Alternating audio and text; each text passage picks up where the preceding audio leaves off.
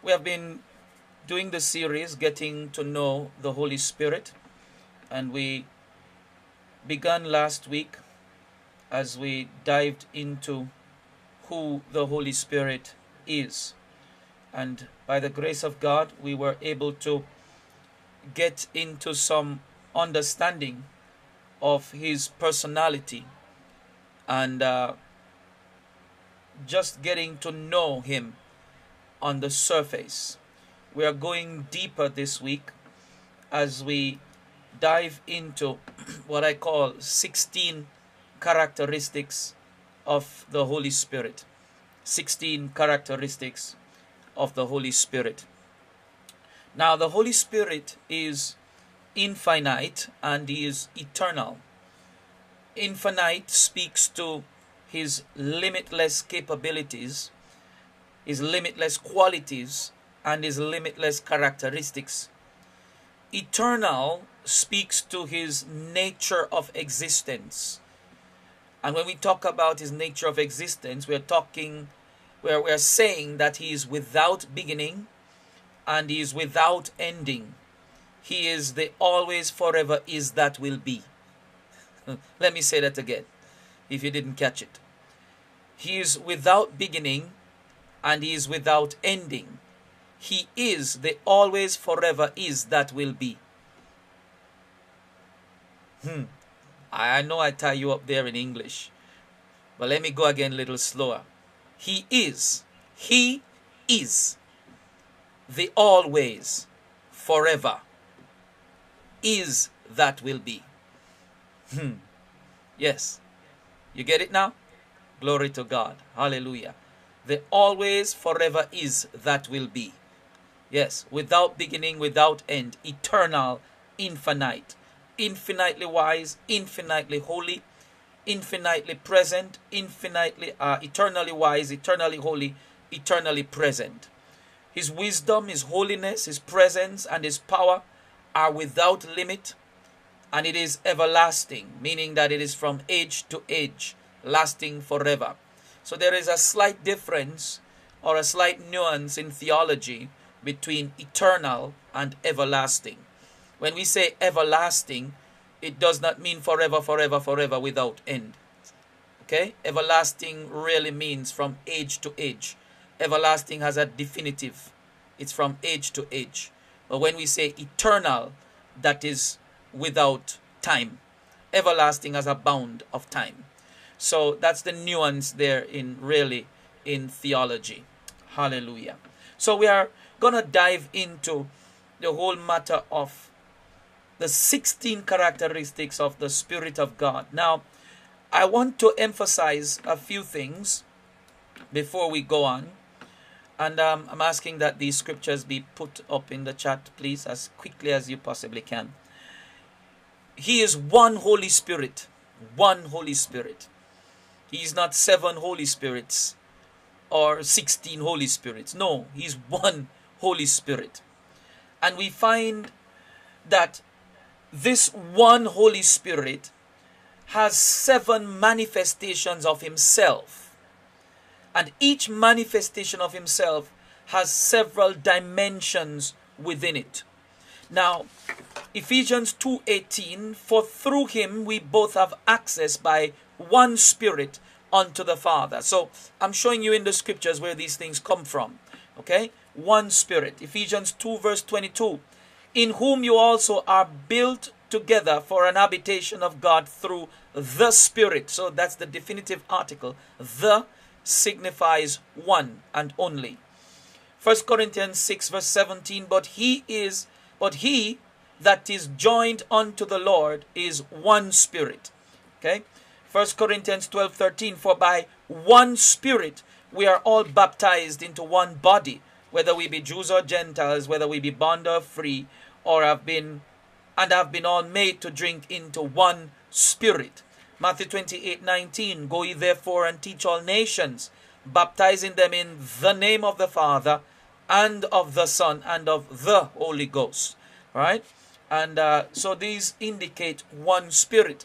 Now, you look further down and you'll see that the Holy Spirit has manifested himself in seven manifestations of that one spirit. So it's not seven spirits, but one spirit manifesting in seven different ways. And the seven here represents completion, perfection. Okay? So seven is really completion, perfection. Isaiah 11 12 is where we begin to see this sevenfold manifestation in detail. It is coded in other aspects of the Torah where God instructed Moses to build certain uh, elements in the temple. And one of those emblems was the seven branched candlestick or the menorah. The menorah is a symbol of the Holy Spirit. It is first a symbol of the Holy Spirit before it becomes a symbol of the seven types of churches. So we see in Isaiah 11 12, 11 2, sorry, this verse which says, And the Spirit of the Lord shall rest upon him, the Spirit of wisdom and understanding, the Spirit of counsel and might, the Spirit of knowledge and the fear of the Lord. Okay? Now, when you look at this, this is where we get the seven manifestations. Number one, the Spirit of the Lord, which is the center uh, piece of the menorah. Number two, and then we can go either left or right. We have the Spirit of wisdom and understanding. So you see the pairings. These are the pairings, the Spirit of wisdom and understanding.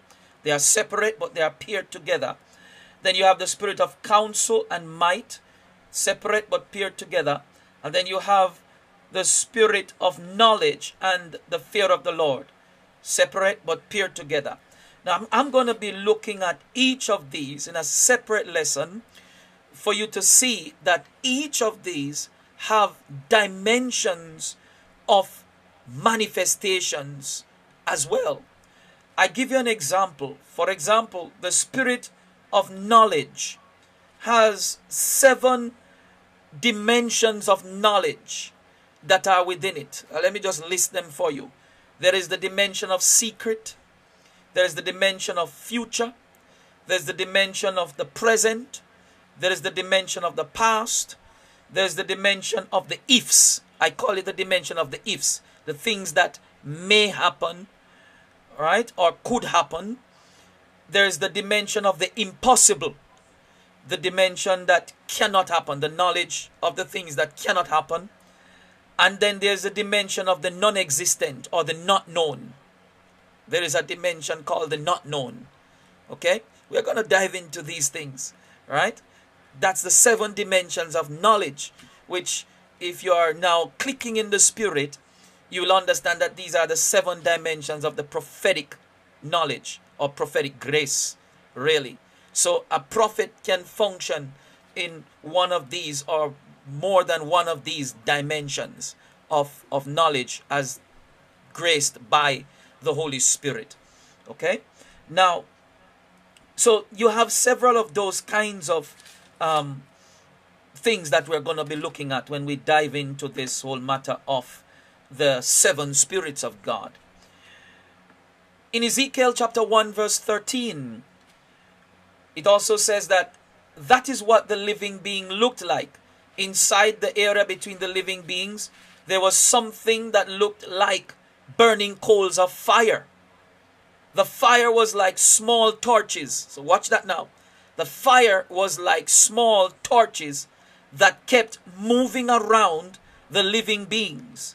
The fire glowed brightly and lightning flashed from it. I'm going to connect the dots for you. Just hold on a minute. Revelations 4 verse 5. Revelation, not Revelations. Revelation 4 verse 5. Lightning flashes and noises of thunder came from the throne.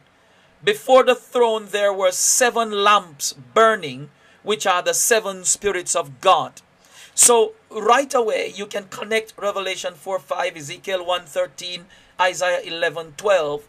you can connect all of these, and what do we get? We get a picture of the sevenfold spirits of God, or the sevenfold spirit of God. Let me not use spirits, sevenfold spirit of God, because it's one spirit, seven manifestations. And immediately, one of the manifestation that we see concerning the spirit of God is lightning and thunder. So immediately, you know that one of the things that accompany the presence of the Spirit of God is lightning and thunder. So you can jump right back to Mount Sinai. And what do you remember? The Bible says that lightning and thunder was heard on the mountain. That's the manifestation of the Holy Spirit. That's a manifestation of the Holy Spirit there. He is a dreadful spirit. And when I say dreadful, I don't mean that he is out to destroy you. No, he's powerful, all powerful, glorious.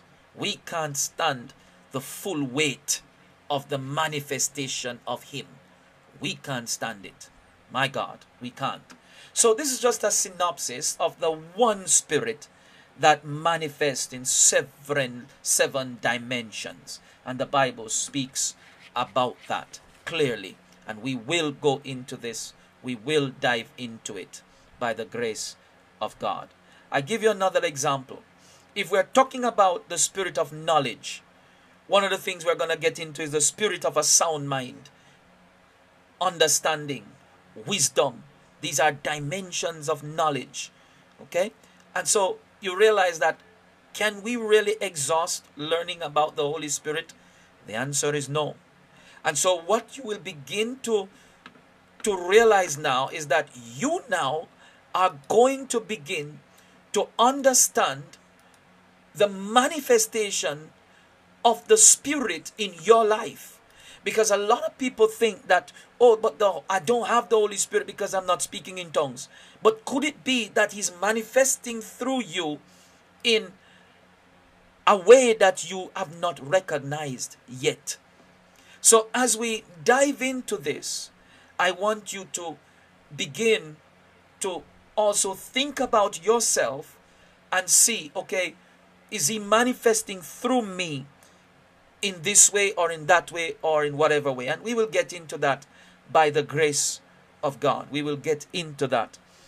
I remember one day I was, uh, we were, the place I was working up by Yui me, I didn't understand nothing. Oh. And I prayed. I said, Lord, if you want me to be here, please give me understanding of this thing. And I felt immediately, I knew which direction the oil came from.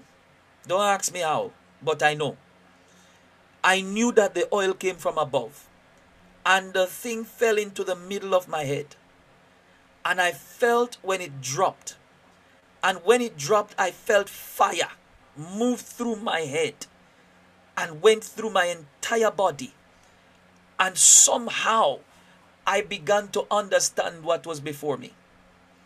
Listen, the Bible says if your earthly fathers know how to give good gifts, how much more will the Father in heaven give the Holy Spirit to them that ask Him. You have not because you ask not. And you do not have because you ask wrongly, because you wanted to fulfill your lusts. Stop asking for gifts. Can I say that? And start asking for the Holy Spirit. Stop asking for gifts now and start asking for the Holy Spirit. At some point in time, you will pray for the gifts of the Spirit because we are commissioned, we are commanded to do so. But we have been going about it wrongly. We have been going about it backwards. Can I put it like that? We have been going about it upside down.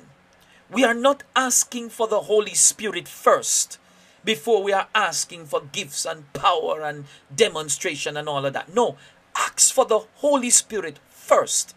Because when you ask for Him, let me tell you something, He will come with things that you never asked for. And you'll receive things you never knew He could give you. There are seven dimensions of manifestations spirit of knowledge, counsel, wisdom, the spirit of the Lord, the spirit of might, the spirit of the fear of the Lord, or I would call it the spirit of worship. Okay? And the spirit of the Lord is the spirit of authority.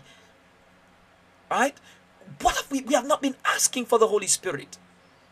We haven't even scratched the surface of his manifestation in our life. So let's get it right first and foremost. Let's begin to ask for Him so that He will fill us and then He will begin to manifest through us according to His will and according to His grace and according to the measure that He wants to put on our life. Hallelujah. So let's stop envying others for the manifestations we see in them and be jealous of the manifestations that people are having. No, we want the Spirit of God to uniquely work through me and to uniquely work through you in one of these dimensions or more, one or more of these dimensions of His Spirit in Isaiah 11, verse 2. Come on. One of the things that I realize is that people Christians, I'm dealing with Christians, I'm dealing with believers. This is discipleship for God's sake. We don't know how to worship because we don't have the spirit of the fear of the Lord. Mm-hmm. So worship becomes more of a performance and an act rather than of the spirit and of truth. Remember what Jesus said? You worship me in spirit and in truth. The spirit of the fear of the Lord is what enables you to do that. Hmm? Then we have the spirit of knowledge and understanding. So many teachers, yet they have not the spirit of knowledge and understanding in their teaching. So instead of being teachers of Christ, they are really religious theologians who, when they teach, they leave you without understanding because their teaching is not spirit led or spirit directed. So you see how important it is for the Holy Spirit to be present in our life. The spirit of might. There are seven dimensions of power that the Holy Spirit gives. My God, we're going to get into it, you know. I'm, I'm excited about that particular lesson, but that's not for tonight. We are dealing with 16 characteristics of the Holy Spirit. Now let's go into characteristic number one. The Holy Spirit is divine. Now, when we speak of characteristics, we are talking about those things that uniquely belong to the Spirit of God, those things that identify Him, His traits, His features, His attributes, His qualities. Now, tonight I guarantee you that we are going to rip apart some things that we see happening in church. Because tonight, after tonight, you will, by the grace of God, know whether or not this is the Spirit of God or this is another spirit. This is very important. This teaching tonight is for your discernment. Very, very important. So I'm going to say some things that might offend some of you, but I will offend your mind so that the Spirit of God can take root in your heart. Because the Bible is, is our guidebook. The Bible is our compass for everything. Now, let's let's go into this. When we say he is divine, this means he is God, of God, comes from God. He is the highest form of existence there is. He is not a God. He is God, the spirit and source of all life. That's what we mean by divine. So if you're going to say that a being is divine, he has to fit this category. He has to be God, of God, comes from God, and the highest form of existence there is. He is God and He is Lord. Acts chapter 5, verse 3 to 4. 2 Corinthians chapter 3, verse 17. Where are my people helping me with the Bible verses here? Acts chapter 3, Acts chapter 5, verse 3 to 4. It's important that we read these passages tonight. We are going to let the Bible do the talking. But Peter said, Ananias, why has Satan filled thine heart to lie to the Holy Ghost and to keep back part of the price of the land? While it was sold, was it not in thine own power? Why hast thou conceived this thing in thy heart? Thou hast not lied unto men, but unto God. So, verse 3 says, He lied to whom? The Holy Ghost. Verse 4 said, He lied to whom?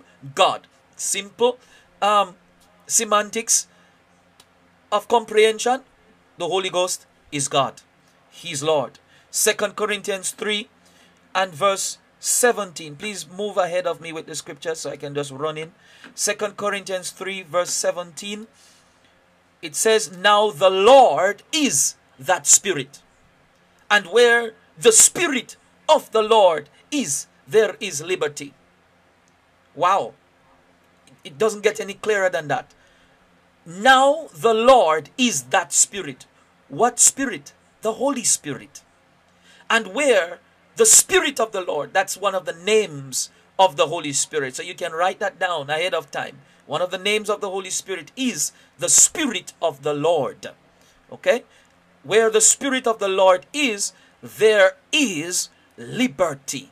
My God. So can we safely say then that if there is no deliverance, no freedom, no healing, no breakthroughs going on, no liberty in the church, can we theorize then that the Holy Spirit is not there? I'm just asking you based on what the Bible is saying. Come on, based on what the Bible is saying, it simply means the Holy Spirit is not there. The Bible says, Now the Lord is that Spirit. And where the Spirit of the Lord is, my God, Holy Spirit, come inside glory room. There is liberty. Mighty God, there is liberty. There is liberty. If the Spirit of God is in me, I have liberty. The reason why I cannot be held down by any chain is because the Holy Spirit is with me. The reason why I cannot be held down by depression is because the Holy Spirit is with me. Yes, we will have bouts of sadness and bouts of, of issues that we will face and, and emotions that will take root sometimes, but it cannot stay. Why? Because the Spirit of the Lord dwells in this temple. And because He dwells in this temple, I will have liberty. I am walking freedom. Come on now. I am walking freedom. You need to say that to yourself. You are walking freedom. Why am I saying that?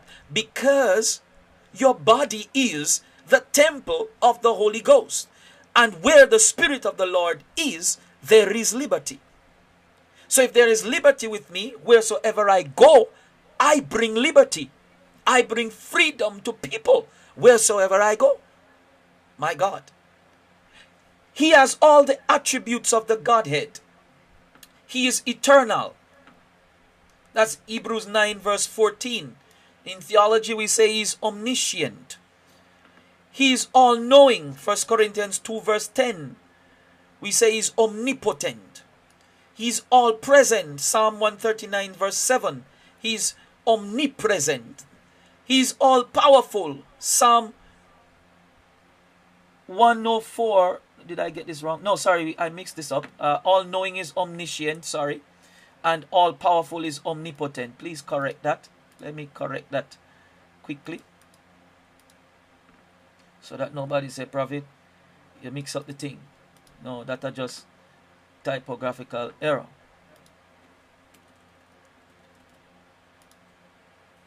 Like we fix it. So them not say prophet you don't know what you're talking all right. Yes. So let's go again eternal take out I want of that so He's eternal. Good. He's all knowing, omniscient. Ah, me not fix this up. You know, Sister Prophet, now fix it. Good. I can fix it now. We know what we are talking about. All knowing, omniscient, all present, omnipresent, all powerful, omnipotent. Psalm 104, verse 30. And all good, um, omnibenevolent. Psalm 25, 8, Luke 11, 13. And he is creator or source. Genesis 1, 2 to 3, Job 26, 13, Psalm 104, verse 30. Now let's see if we can read some of these scriptures. How much more shall the blood of Christ, who through the eternal Spirit offered himself without spot to God, purged your conscience from dead works to serve the living God? He is the eternal Spirit. And remember what we said about eternal. The always is that forever will be. But God hath revealed unto us by his Spirit. For the Spirit searcheth all things, yea, the deep things of God. He knows all things. He's the one that searches the mind of God. Uh, Psalm 139 7. Whither shall I go from thy spirit, or where shall I flee from thy presence? He's everywhere. If you make your bed in hell, him down there. If you go up into heaven, him up there. If you go into the cave, him round there. Go underneath the waters, him down there. He is everywhere, omnipresent. Psalm 104, verse 30. Sorry, 30. And Psalm 25, verse 8. Good and upright is the Lord, therefore will he teach sinners in the way. He is good, right? He is good. Psalm 104, let me get there quickly, and verse 30, it says, Thou sendest forth thy spirit, they are created, and thou renewest the face of the earth. Right? He is the one who is all powerful and who creates all things. By his spirit hath garnished the heavens, his hands has formed the crooked serpent. Yes, Holy Spirit hand form him.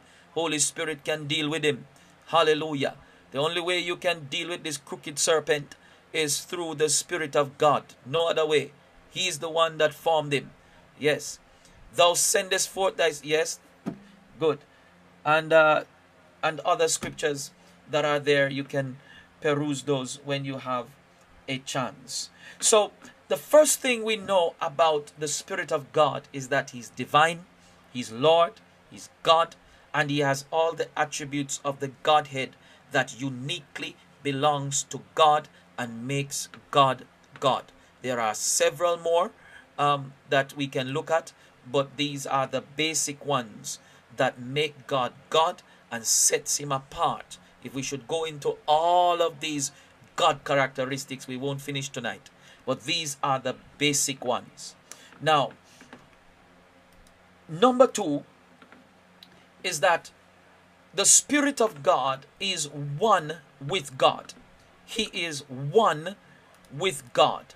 He is united with God. You, you cannot separate him from the Godhead. Psalm Isaiah 48, verse 16 Come ye near unto me and hear this.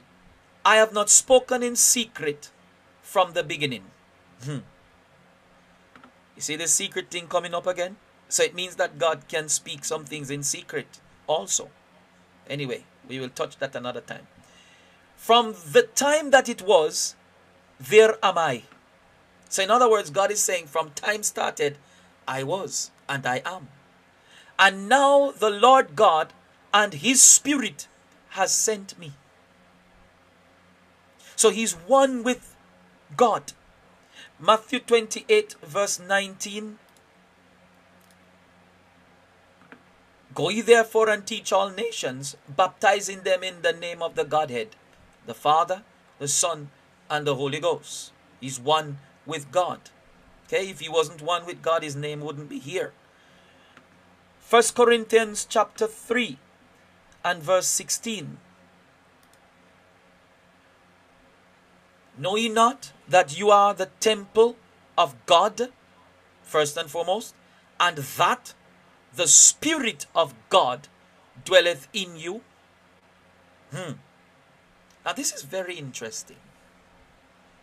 You are the temple of God. But you realize the Bible didn't say Jesus dwelleth in you, it said the Spirit of God dwelleth in you.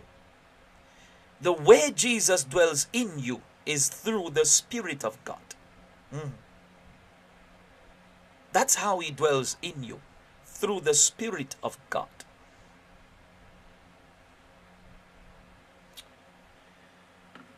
Number three, He has a name. And names that identify Him. And we're going to go into that. Many of them. That's not for tonight.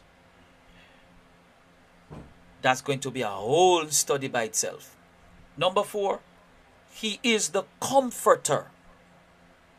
John 14, verse 16. He is the comforter. Now, very interesting um, passage. John 14, verse 16. It says, And I will pray to the Father, and he shall give you another comforter, that he may abide with you for ever. Very interesting statement Jesus made. Another comforter. And he will abide with you forever. This word another means someone else that is different. That's what that word means.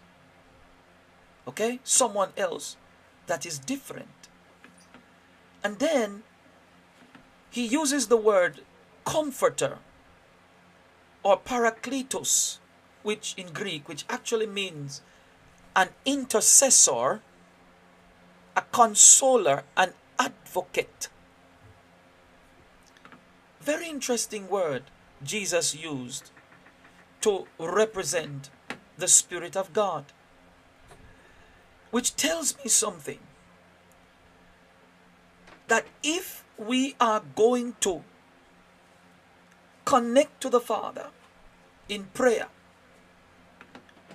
we need the Holy Spirit. We need that Parakletos. There is no connecting without Him. Any prayer that is prayed that is not being fueled by the Spirit is prayer that is really not going anywhere. Is really not going anywhere. And so, this is why before you pray, you must invite Him. Holy Spirit, I'm about to pray. Come. Pray through me. Direct me in my prayers. For we know not what we ought to pray. But the Spirit of God prays through us And the Bible tells us how. So he is the comforter. Now, some translations use the word helper. He is God's help, not a maid that you boss around. Mm-mm. So you hear people praying certain ways and and behaving certain ways as if they can just tell the Holy Spirit, go there and do this and no, no, no, no, no. He's not a maid you boss around. He's not a slave that you chain. He's not a genie in a bottle that you rub and conjure up. No. The Holy Spirit is God's help sent to us to comfort us, to console us, to help us to achieve what God wants. Now, some of us behave like the Holy Spirit is employed to us. No. The Holy Spirit is not employed to you nor to me. We are really the ones employed to Him. He's the one that uses us. We don't use Him. So you can't tell Him when to move and when to act. No, you move and you act when He's ready. And if you miss him, you miss it. What do I mean? You miss what he wants to do. And this brings me to the point that so many of us are not sensitive to the Holy Spirit and when He's around and when He wants to move. Because we are so much accustomed to controlling, and I'm using that word very carefully because I'm going to use it in another context. We are so much wanting to control how the Spirit moves, when He moves, and in what manner He moves. No, He directs when He does that. We're going to get into some things later on. Number five, He is sent in Jesus' name. John chapter 16 and verse 7. Here is what it says Nevertheless, I tell you the truth. It is expedient for you that I go away, for if I go not away, the Comforter will not come unto you, but if I depart, I will send him unto you. He comes in Jesus' authority. Whoever sends you, you are in their authority. You go with their authority. So he comes to us in the authority of Jesus Christ. Why is that important?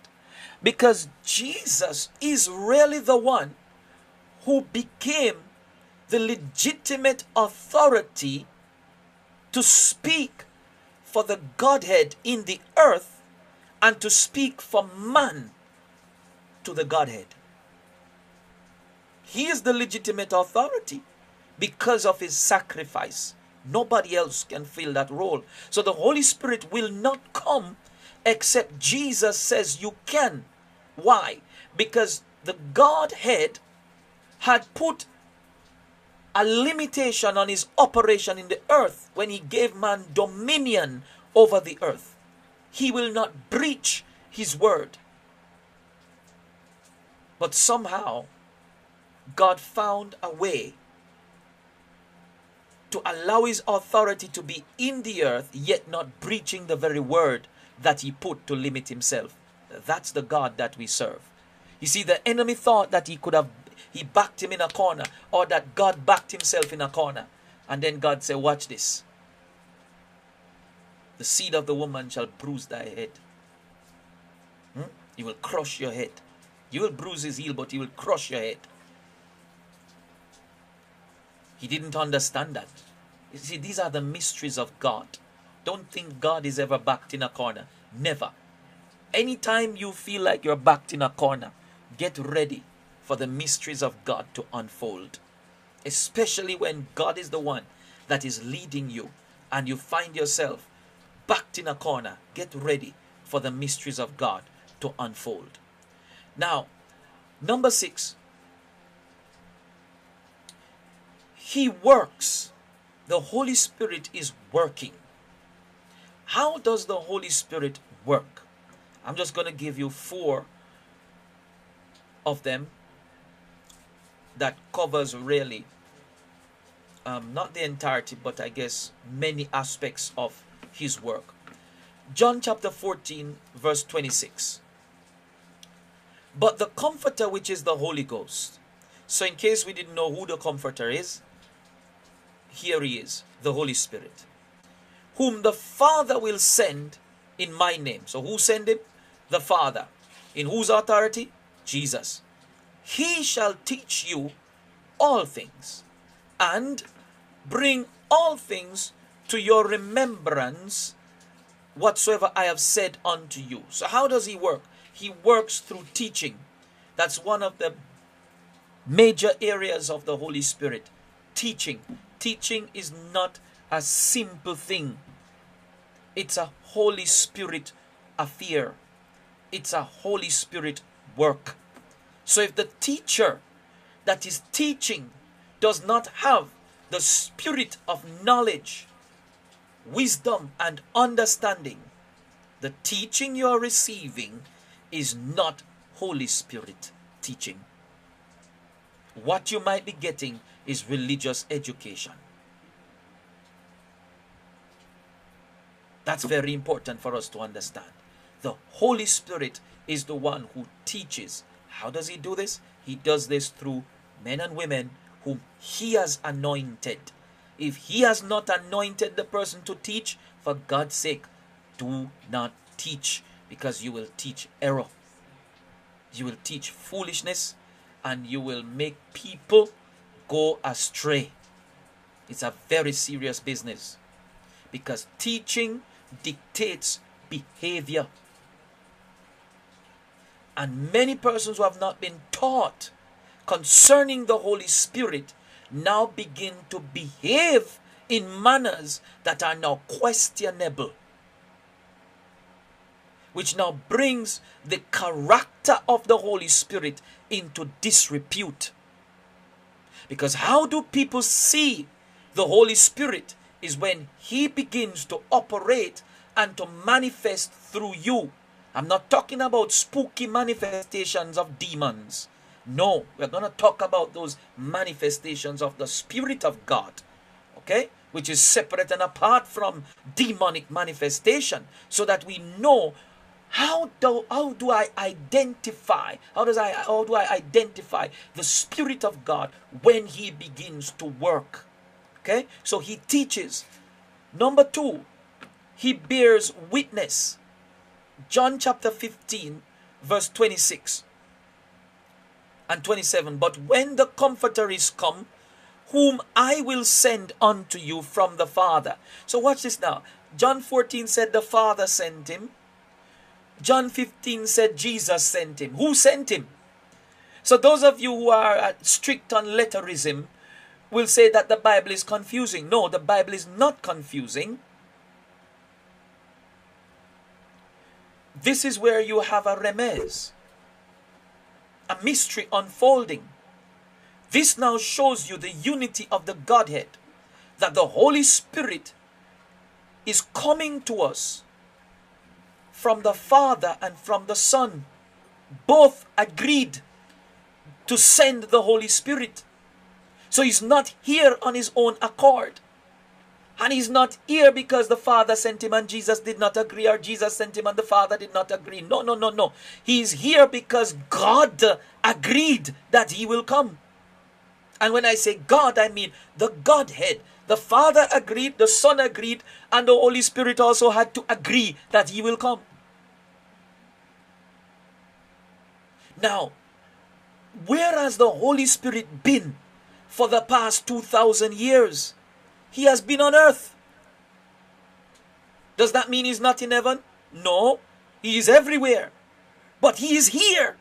This is where he is working. This is where he has been working for the past 2,000 years. So let's go on a little bit further. The Spirit of truth, that's another name for the Holy Spirit, which proceedeth from the Father he shall testify, he shall witness of me. Okay? He shall witness from me. That word proceeded is the word project. So, in other words, he's connected to the Father and coming out from the Father to you, to me. Okay? He issue forth from the Father. Right. Now, he testifies, he witnesses, he bears record he is the one that bears record of Jesus Christ. Very important that we understand all of this. He's the one that bears record. He's the one that witnesses concerning Jesus Christ. Okay? Now, verse 27 says, And you also shall bear witness. Uh oh. So, watch what is happening now. For me to bear witness, for me to be a true evangelist, for me to be a true preacher of the gospel, for me to be a true record bearer, for me to carry a true testimony, for me to carry a true report, for me to give truthful evidence of Jesus Christ, I need the Holy Spirit. I cannot give true record of the Spirit of God without the Holy Spirit present. So you shall bear witness because you have been with me from the beginning. Now he was speaking to his disciples here. But this also applies to us in the sense that once we receive the Spirit of God, we are ready to become witnesses. We are ready to become evangelists. We are ready to carry the gospel. And this gospel will be carried with power, with accuracy, with truth, with truthful record of Jesus Christ. That's very important. So, one of the problems we have been having now is that we have people who have been going out to witness, but they don't have the witness. I hope you, you, you, you caught what I just said. We have people who have been going out to witness, but they don't have the witness. What testimony are you going to give if you do not have the one who testifies about Jesus in you? And so, this is partly the, or I'd say one of the biggest reasons why we are not seeing people responding to the gospel. Because those whom we are sending, we do not ensure that they are going with the Spirit of God. Very serious business. We don't just pick up people and send them out. You see, the Bible assumes some things concerning believers because the Bible sets forth certain standards concerning believers. One of the assumptions the Bible makes, and these are not assumptions of opinion, these are assumptions of fact and truth, is that if you are a believer, you have the Holy Spirit within you. You cannot be a believer without the Spirit of God. Because it is the Spirit of God that draws men to Christ. So the question is if you came to Christ, by what means did you come? Who pulled you? Who pulled you to Jesus? So you find that when people say, Oh, I came to church because I wanted to be married, I came to Jesus because I wanted to marry this woman, very soon after marriage, he will backslide. Because when the euphoria of the woman ends and her makeup is removed,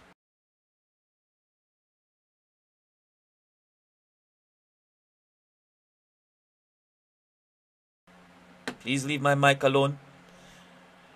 When the euphoria of the woman has ended, the makeup is removed and the wig goes into the washing machine, then the man will begin to itch a reverse. Mm-hmm. Because what pulled him was not the Holy Spirit.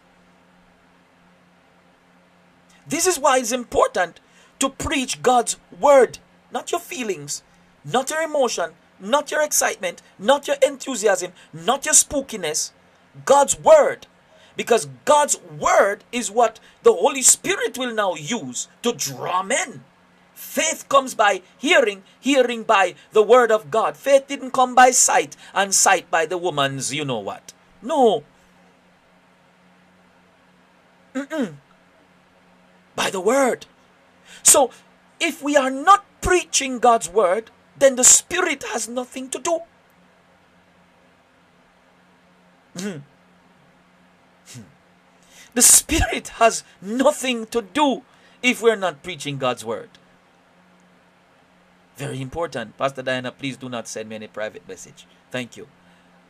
You're distracting me. Now, we must bear witness. And one of the works of the Holy Spirit is that he bears witness.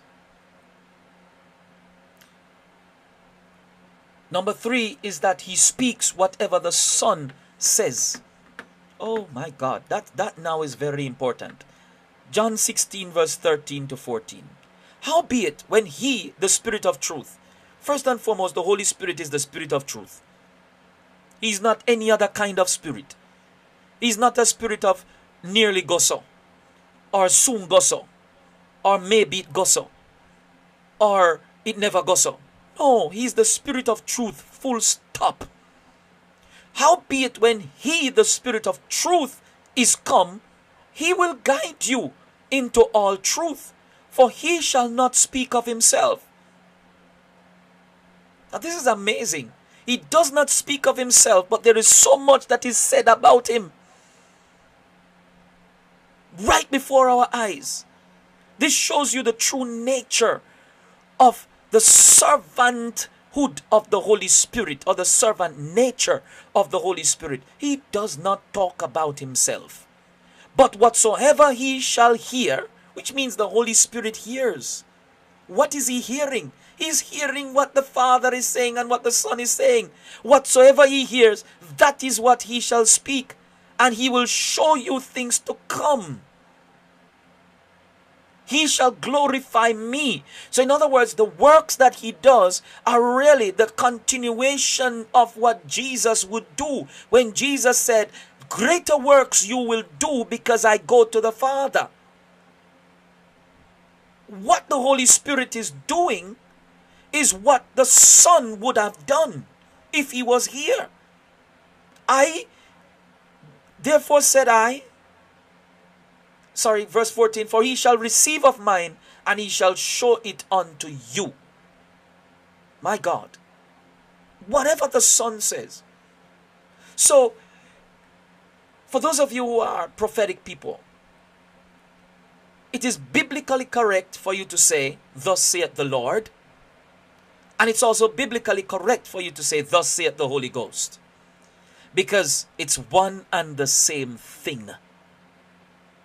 So, in the Old Testament, you see, Thus saith the Lord, when the prophets are speaking. Why? Because the Holy Spirit hath not yet come to dwell among men. In the New Testament, when you look at the book of Acts going down, you see, Thus saith the Holy Spirit. Because who is here now? The Spirit of God. And he's speaking what the Son is saying. So you look at the book of Acts, the Holy Spirit said. You look in the book of Revelation, here is what the Spirit saith unto the churches. Why? Because he is the one that is here in operation.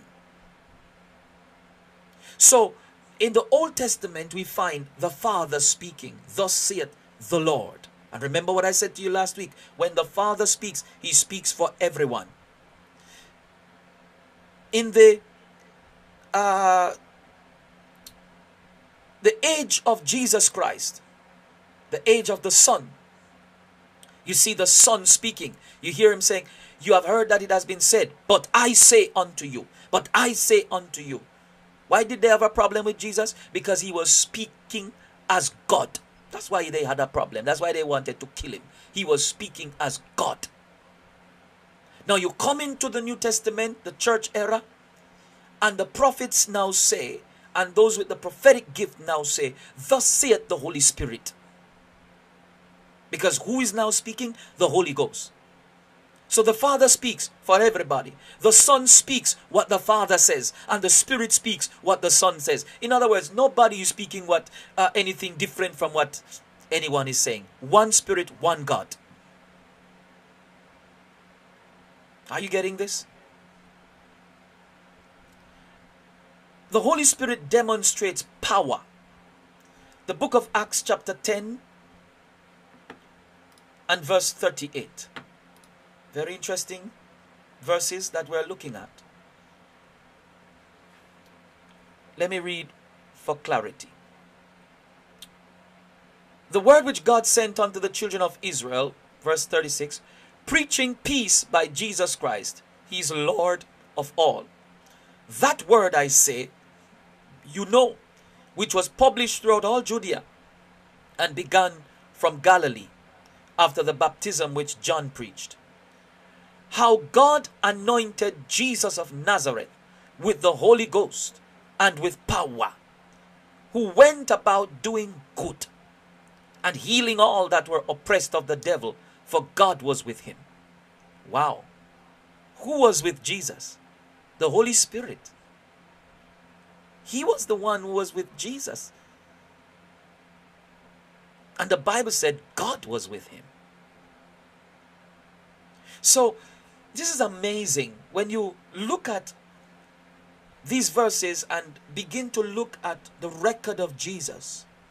John said, I beheld heaven opened, and I heard a voice from heaven saying, This is my beloved Son, in whom I'm well pleased. And I saw the Spirit of God descending upon him like a dove. That was how John knew that the Holy Spirit came on Jesus. And the Holy Spirit never left him since then. So I have a little thing I said, but if the Holy Spirit never left him, did the Holy Spirit remain on him like a dove? Who knows? That people might have seen the dove on Jesus several times. We don't know. But one of the ways that we even know the Holy Spirit was there was on the Mount of Transfiguration. The glory that appeared. The only time the Spirit of God left the Son was when he was on the cross. When he said, My God, my God, why hast thou forsaken me? That was the moment he left. Because Jesus had to now go through that. Because that was his assignment now to carry. Mm. Amazing. Amazing stuff. Power. Zechariah chapter 4 and verse 6. Let's see what that says. Then he answered and said unto me, This is the word of the Lord. Capital L O R D. Remember what I told you about that? That that's God the Father speaking. This is the word of the Lord unto Zerubbabel, saying, Not by might nor by power, but by my spirit, saith the Lord of hosts. Now, if it's not by the might and power of Zerubbabel, then whose might and power it is going to be? The Spirit of the Lord. So he is a God of power, and there are so many places that we can look at that shows the power of the Holy Spirit. The power of the Holy Spirit at work. So many, so many places. And you read the New Testament, from the book of Matthew right to the book of Revelation, what you are seeing is the power of the Holy Spirit at work. Amen. I just received testimonies this evening. Somebody sent me some testimonies of things that happened while we are praying, while we while I prayed for them here on, on Zoom. And I said, My God, this is amazing. These things that happen um, that these people are, are, are experiencing. I didn't lay hands on them. I didn't touch them. I wasn't near them. I just spoke a word and the Holy Spirit did the rest. Tangible evidence of change in their lives. That's the Holy Spirit at work in power, in might, and He's still at work today. We have the testimony that the Holy Spirit is with us. Glory be to God. Hallelujah. We have the testimony, my God, that He is with us. Those of us who think that we have to be in the building with the prophet or with the apostle. No, God has shown us in these past two years that all you need to do is believe. Speak a word in faith, and God will do the rest by His Spirit. Glory be to God. Hallelujah. Amen. So he's, he's demonstrating power. Hallelujah. And so that's how he's working. He's teaching, he's bearing witness, he's speaking whatever the Son says, and he's demonstrating power. I believe these four areas really capture the, the, the totality of the work of the Spirit amongst us uh, as, as church and as believers. And we can look at several other um, areas that he's working and doing work. One of the other areas is that he's preparing the bride of Christ to meet Jesus. That's his work. So please, when the Holy Spirit rebukes you, do not harden your heart. It's a part of the preparation process for us to meet the Savior. Glory to God. Hallelujah. Number seven, he speaks and he sees. So he just he not only hears, but he speaks and he sees. Let's look at some of these verses. First Timothy chapter 4 and verse 1. Tonight the Bible will do the talking. First Timothy chapter 4 and verse 1. Now the Spirit speaketh expressly. My God, the Spirit speaks expressly. The Spirit expressly says, In the latter times, some will depart from the faith by devoting themselves to deceitful spirits and teachings of demons through insincerity of liars whose consciences are seared. Now, I want you to recognize what is going on here. Remember what I said to you earlier. And this is one of the ways that you will know if a man is truly anointed to teach the Bible. Whatever he says can be cor- corroborated with the scriptures, even if he does not give a scripture to back it up when he says it. The Spirit says that there are those who are going to depart from the faith because of deceitful spirits. Other spirits have entered into our midst teaching things that are not of the Spirit. Why? Because those teachers are not anointed by the Spirit to teach.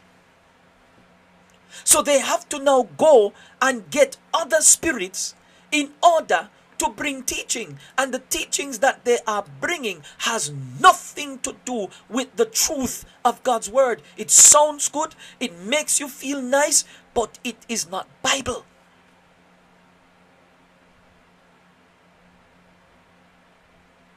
You know it's not bible because it does not bring any lasting change to your heart. It makes you feel good now but tomorrow morning you're back to square one 10 steps to do this and 20 steps to do that. And you follow all 21 of them. Because you add one too. And you still remain the same. But if the Spirit of God is speaking and you believe what He is saying, there is an instant reaction in your heart that produces the change that you are looking for. Acts chapter 13 and verse 2. The book of Acts chapter 13 and verse 2. Here's what it says. While they were worshiping the Lord and fasting, the Holy Spirit said, Set apart for me Barnabas and Saul for the work to which I have called them. Remember, I'm showing you that he speaks. Now, how do I know that the Holy Spirit is speaking? Do I hear a voice from over yonder that come through the speaker or that comes through the chair. No.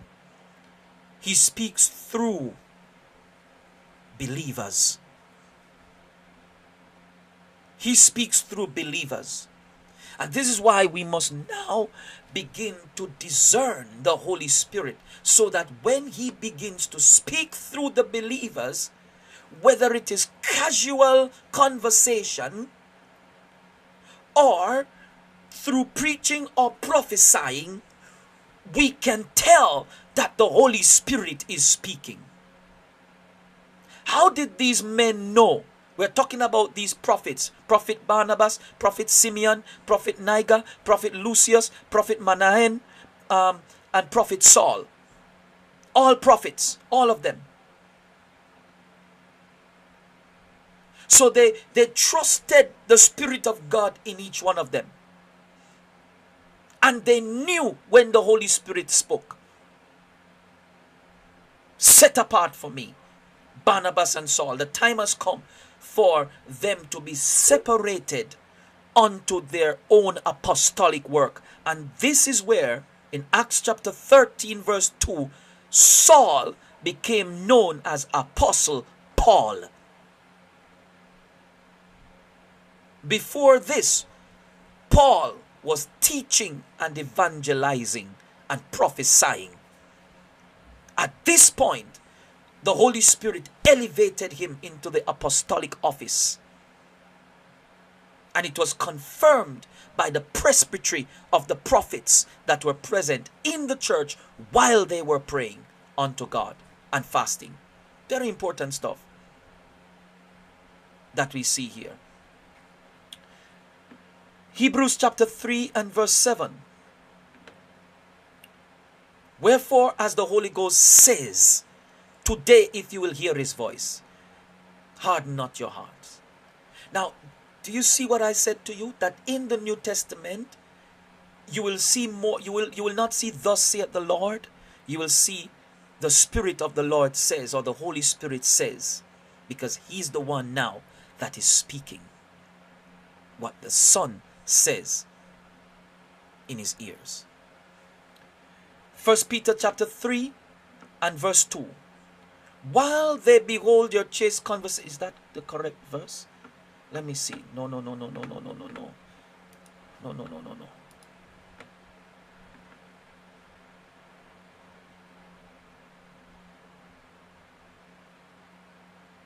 Okay.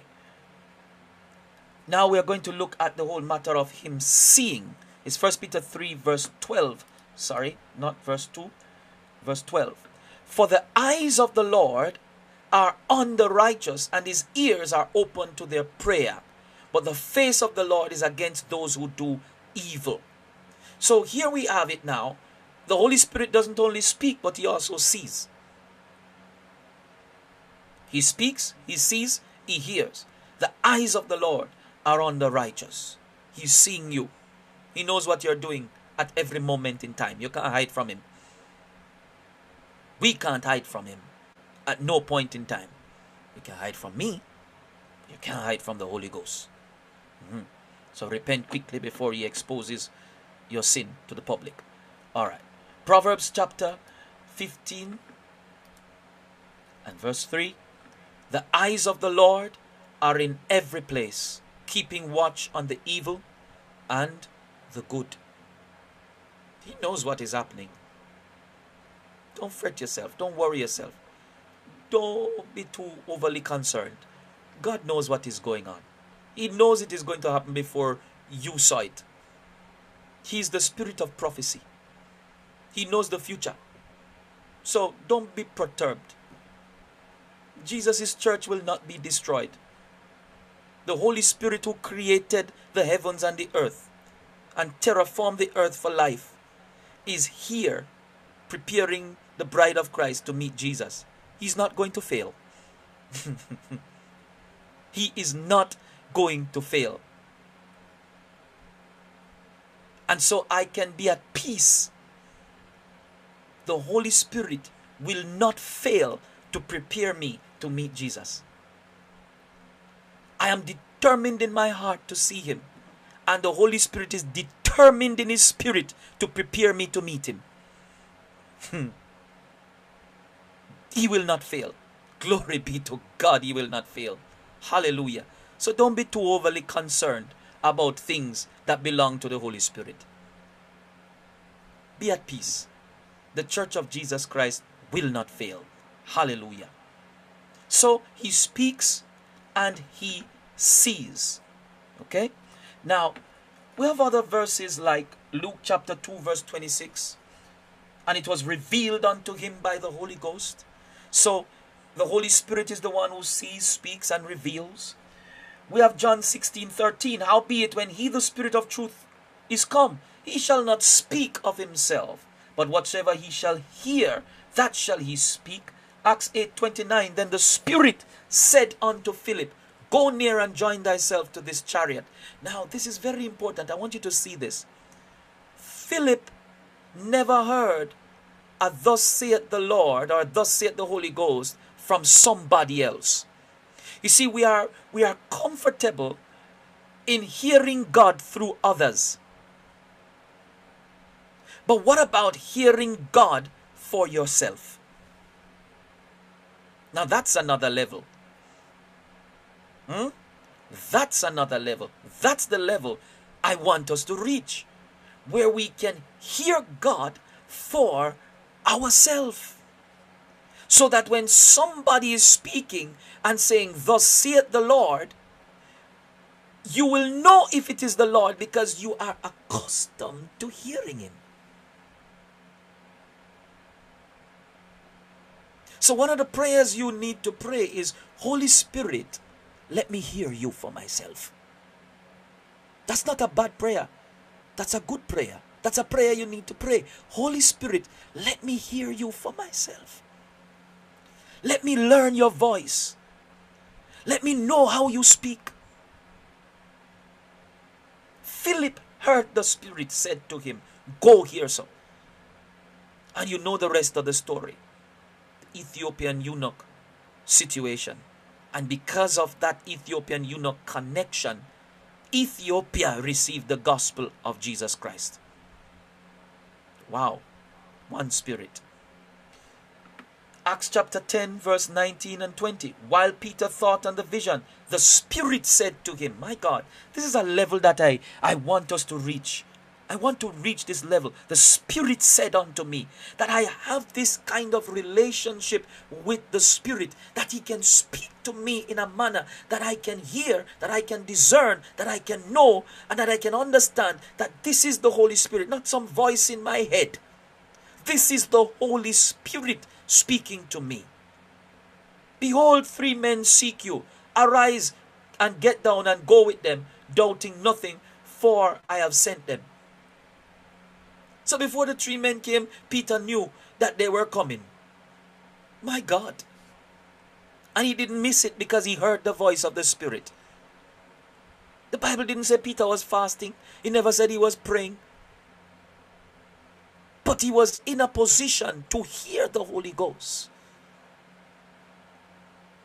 May we always be in that position to hear the Spirit whenever He's ready to speak. Because one of the issues that I see happening to believers is that the Holy Spirit wants to speak, is speaking, but we are not in position to hear Him speak.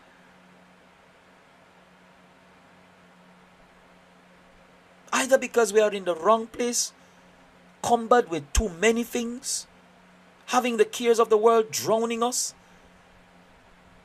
and all kinds of things going on with us. We're not in position, we're not in place spiritually, mentally, emotionally to hear the Spirit speak.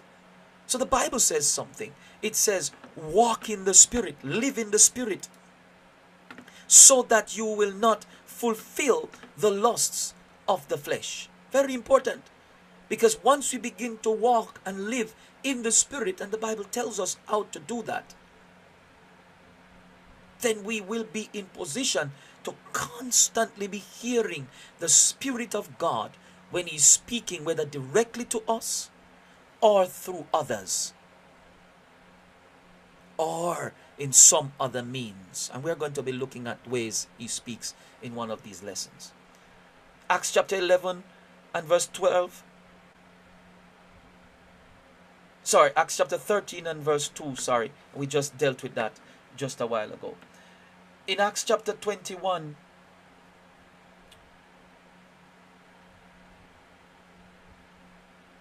okay, let me leave that for now. Yes, let me let me get into that. Acts chapter 21, verse 11. He came to us and borrowed Paul's belt. This was a prophet. He used it to tie his own hands and feet and said, The Holy Spirit tells me this is how the Jews in Jerusalem. So the prophet was able to hear the Holy Spirit speaking to him about what will happen to Paul. Right?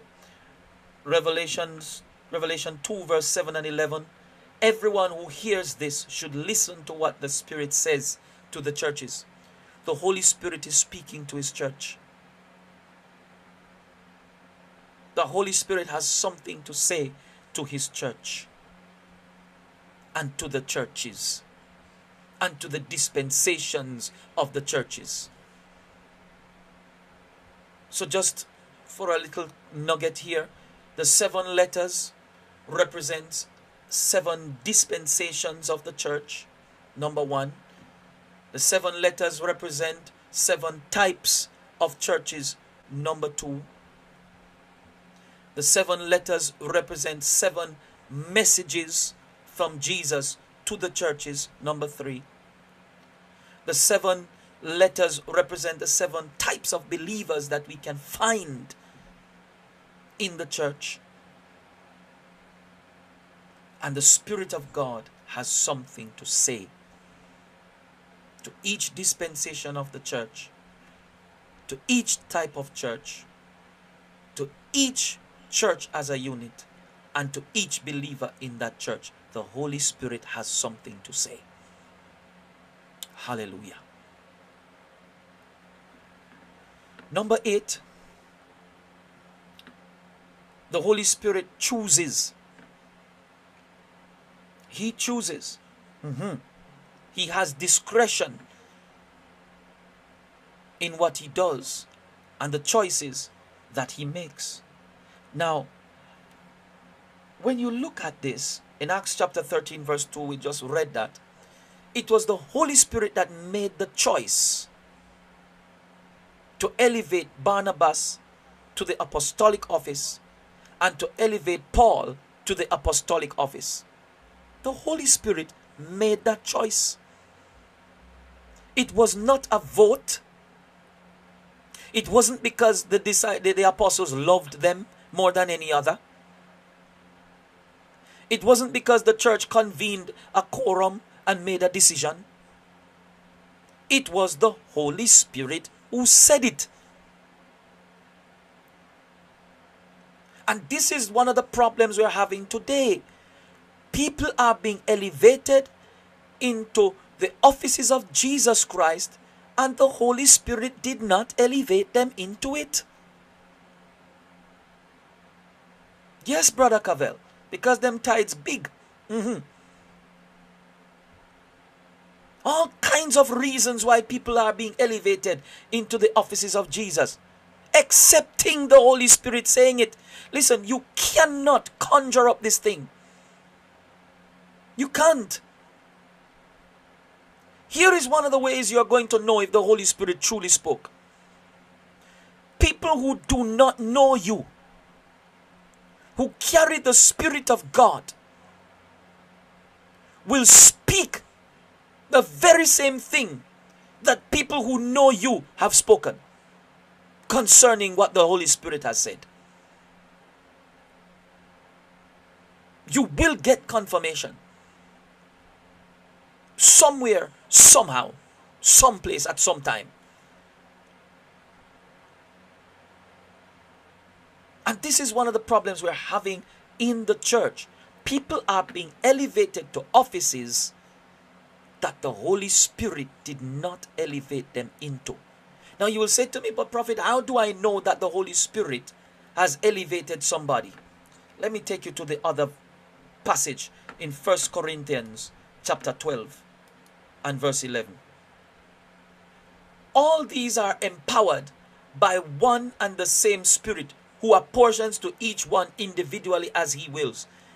If the Holy Spirit is elevating a man, you will know because the gifts of the Spirit will be present in him. You can't fake that. You can't fake it. You can fake wear the title, but you can't fake the gift. Because when the gift is ready, or when it is demanded of the office that you sit in, and you cannot produce it, it is evidence you were not elevated into it. Hmm. Challenge me on that one.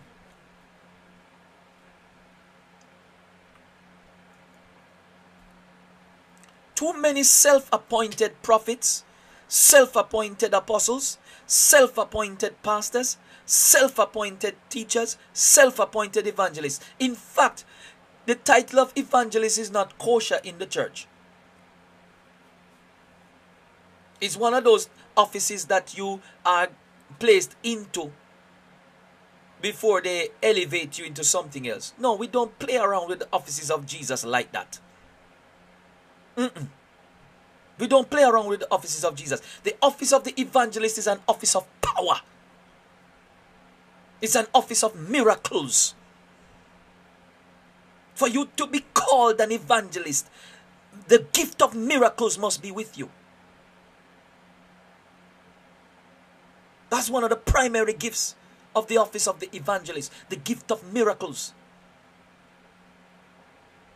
When you go out, demons must be running out. Because the gospel brings liberation. So people are being elevated into the office without the gifts. The gifts must be there first before the elevation into the office. And you don't elevate somebody into an office because you think they are supposed to be in there. No, the Holy Spirit must say. And how do I know the Holy Spirit is saying? He speaks through trusted voices voices that are legitimate, who have a track record of when they speak, there is evidence of the veracity of what they have said. It's not some fly by night, this is how I feel about you. No. The gifts must be present.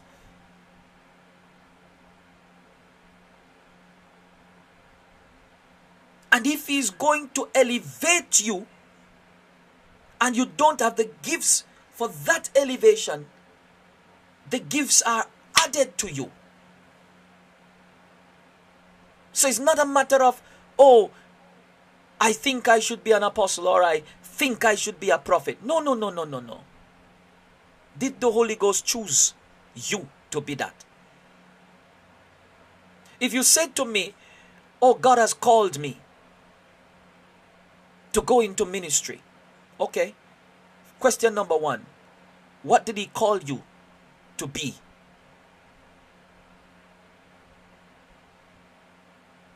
Say, okay, prophet, he has called me to be this. Okay, very good. You're not yet ready for the office because you have to go through training and preparation before elevation. It's a calling, not an appointment. so when he's ready, he will choose you at the time that he wants, at the moment he wants, wherever he wants. We have to stop this nonsense. You don't call people something because you think that this is what they are supposed to be. No. Mm-mm. This is where the mess is happening because we are elevating people who are immature. People who are not yet matured in they are not even discipled for God's sake. There's no element of discipleship that they have gone through, but they are prophets. But they are apostles. Really? No, no, no, no. The Holy Spirit chooses. Number nine, is the author of the scripture. Acts chapter 1, verse 16.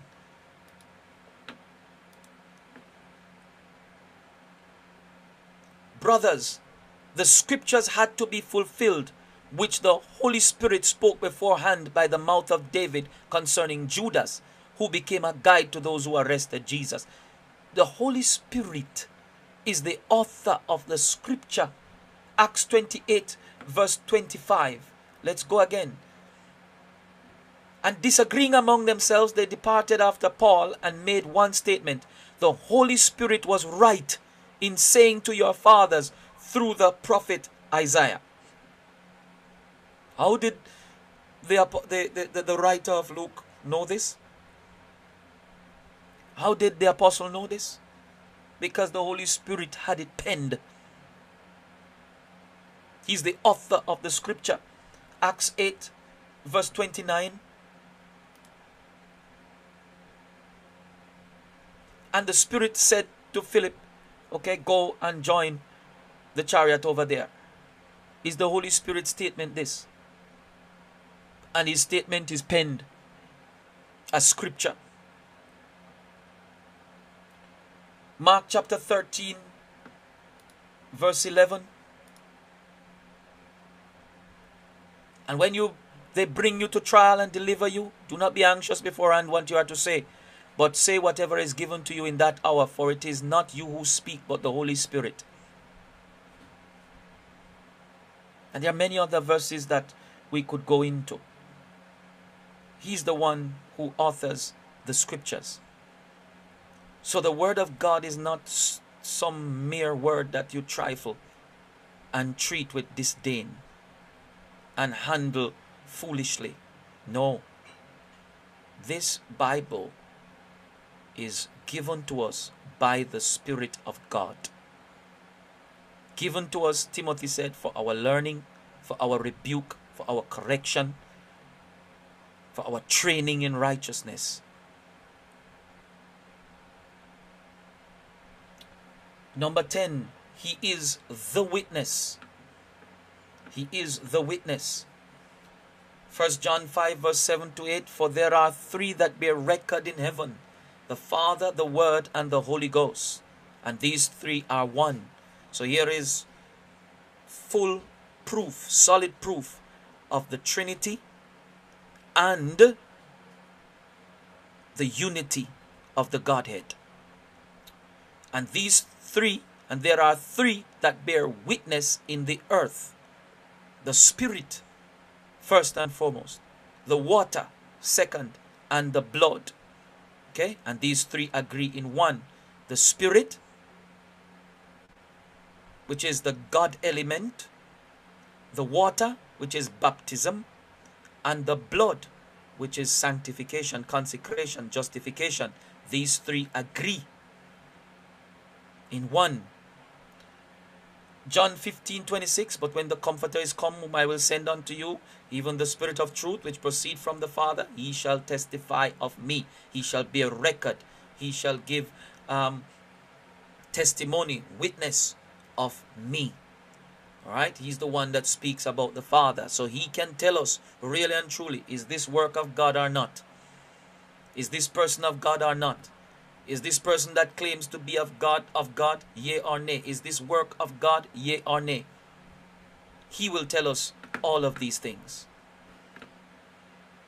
Number 11, he does not tolerate sin. Genesis 6 verse 3. And the Lord said, My spirit shall not always strive with man, for that he also is flesh, yet his days shall be a hundred and twenty years. Very serious things were going on in Genesis 6 3, not getting into that tonight.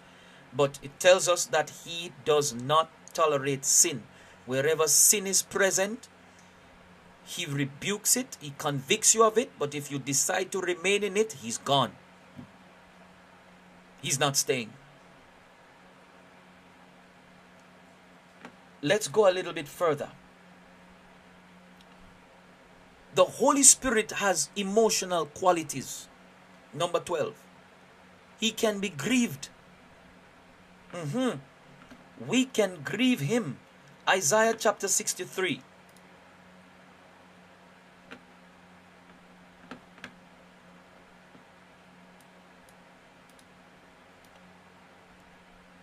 Yes, Isaiah 63 and verse 10. But they rebelled and grieved his Holy Spirit. Therefore, he turned to be their enemy and himself fought against them. Do you see that? Let me give you a news flash. Some of the things that some Christians are facing is not the devil. It is the Holy Spirit fighting them because they have grieved him.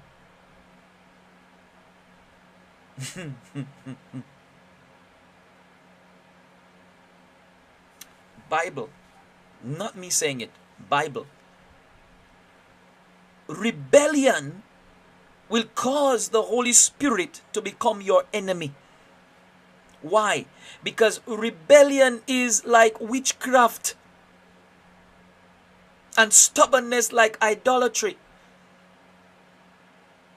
And if you rebel, you are saying that there is another God. And if there is another God, then God will contend with that God. So, really and truly, what is going on is that there is a contending, a wrestling, a match going on to prove whether or not you are God because you have rejected His instruction. And the only way you can reject His instruction is because you are greater than Him. Okay, you're greater than me. Let's prove it.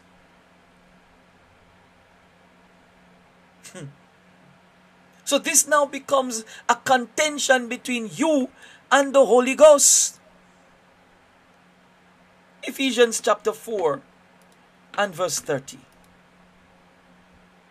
And do not grieve the Holy Spirit of God, by whom you were sealed for the day of redemption. We will get into this. I'm just giving you some characteristics, but we're going to get into all of these things. How do I grieve the Holy Spirit? We're going to get into that deeply. He's joyful. He's a joyful spirit. Acts chapter 13 and verse 52. And the disciples were filled with joy and with the Holy Ghost. Oh my God. How can you say you are filled with the Holy Spirit but you look like sourpuss? How can you say that? Where is the joy of the Lord in you? Where is the the happiness that exudes from you? I don't need anything to be happy because the Holy Spirit is in me. If you need something to be happy, you're of the world. You're not of the kingdom of God. You have not yet entered the kingdom. The Spirit of God has not yet taken you over. The joy of the Lord is my strength. The joy of the Lord is not a thing, the joy of the Lord is a person.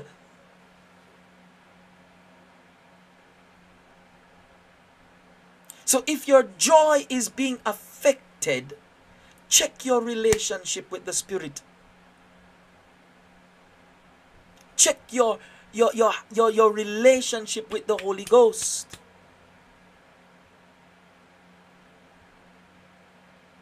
Some of us have been in some in some churches that they don't laugh at all. Everything is straight and stiff like the two before. No Holy Spirit inside there. No human, nothing. No joy of Jesus, no joy of the Holy Spirit, no Holy Spirit, full stop. Everything is so serious that even you're more serious than the grave itself. How can you be more serious than the grave? Jesus overcome the grave. Mm-hmm. Jesus overcome the grave, man. Glory to God. Hallelujah. I shall not die, but I shall live. Thank you, Jesus. You might go through one or two things, but it must never steal your joy. What shall separate me from the love of God? shall persecution, shall tribulation, shall distress, shall famine, shall nakedness, shall sword. Nay, in all of these things, we are more than conquerors through Christ who loved us.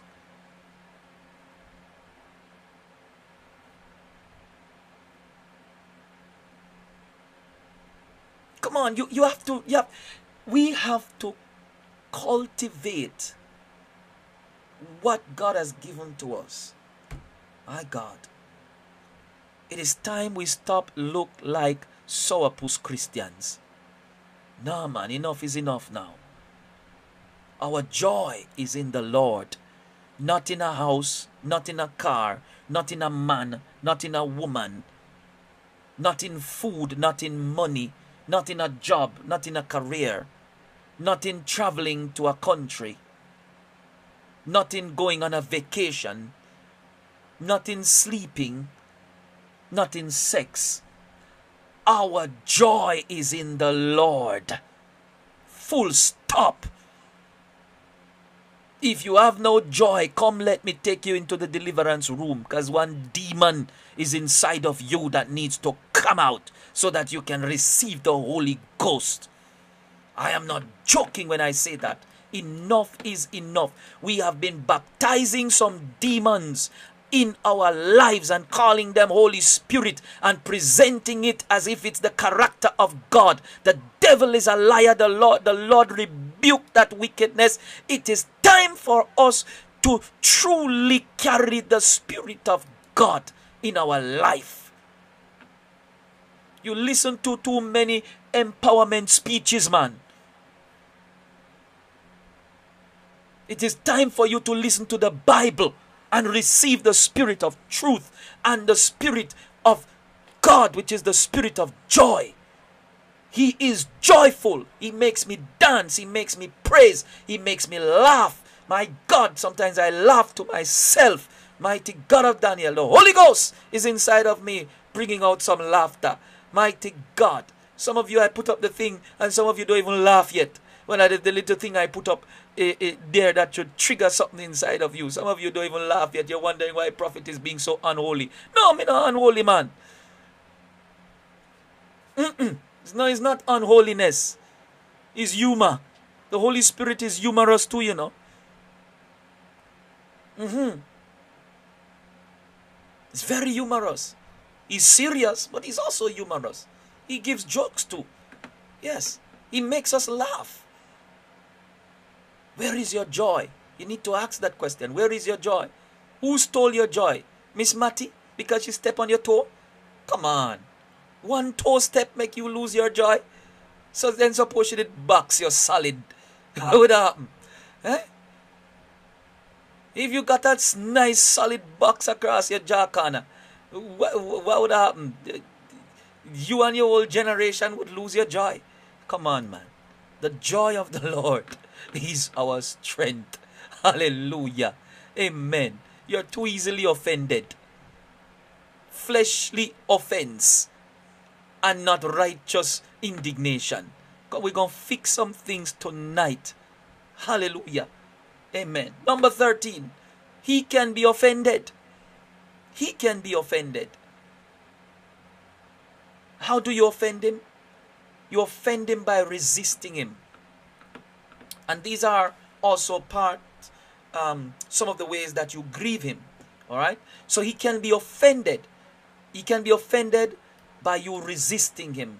Book of Acts, chapter 7, verse 51. You stiff necked. hey, let me make the Bible talk now.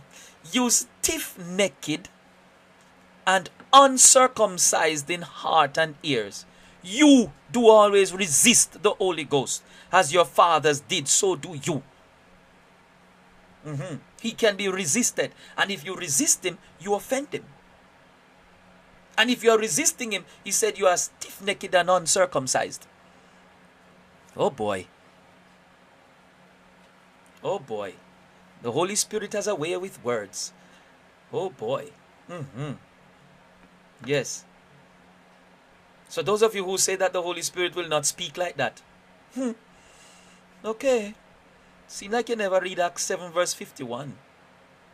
Seem like you never read where Jesus said you white was sepulchres full of dead men bones. Seem like you never read some things in the Bible. He has a way of rebuking people, you know. He can be insulted. You can insult the Holy Spirit. And insulting him does offend him. Acts 10.29 Of how much sorer punishment suppose he shall he be thought worthy, who hath trodden under foot the Son of God, and hath counted the blood of the covenant wherewith he was sanctified an unholy thing, and hath done despite unto the Spirit of God. Insult to the Spirit of God. He can be insulted. You can insult him, especially when he is bringing Jesus to you especially when He's rebuking you, correcting you, so that you can become more like Christ Jesus. And you're resisting that, you're rejecting that. That's an insult to the Holy Spirit. It's an insult to the Holy Spirit when He's speaking to you and you don't want to hear what He has to say. That's an insult. Acts chapter 5, verse 3 He can be lied to. But Peter said, Ananias, why has Satan filled your heart to lie to the Holy Spirit and to keep back part of the price of the land? He can be lied to. Have you been lying to the Holy Ghost? If you're lying to Him, insulting Him, resisting Him, you're offending Him. And if you offend the Holy Spirit, you're going to become His enemy. I don't want the Spirit of power to become my enemy. Mm-mm. How can you fight the Holy Ghost? You can't fight Him. If He declares war against you, God help you. In fact, there's no one to help you because it's God declaring war. Hmm. Help us, Lord.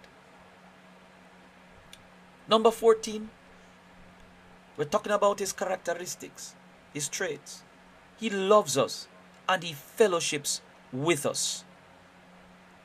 Romans 15 30. Now I beseech you, brethren, for the Lord Jesus Christ's sake and for the love of the Spirit. Hey, my God, that you strive together with me in your prayers to God for me. When you pray for somebody, it's the love of the Spirit at work. Mm. He loves us. That's why He will move people to pray for us. So when the Holy Spirit brings somebody across your mind, it's not for you to call them and say, you know, see, you just run across my mind. No, me never run across your mind. Me did the right here, so, and you did the right over there, so. If me run across your mind, your mind mash up because my steps them heavy. But the reason why you came across, I came across your mind is because the Holy Spirit loves me and wants you to pray for me in the Spirit.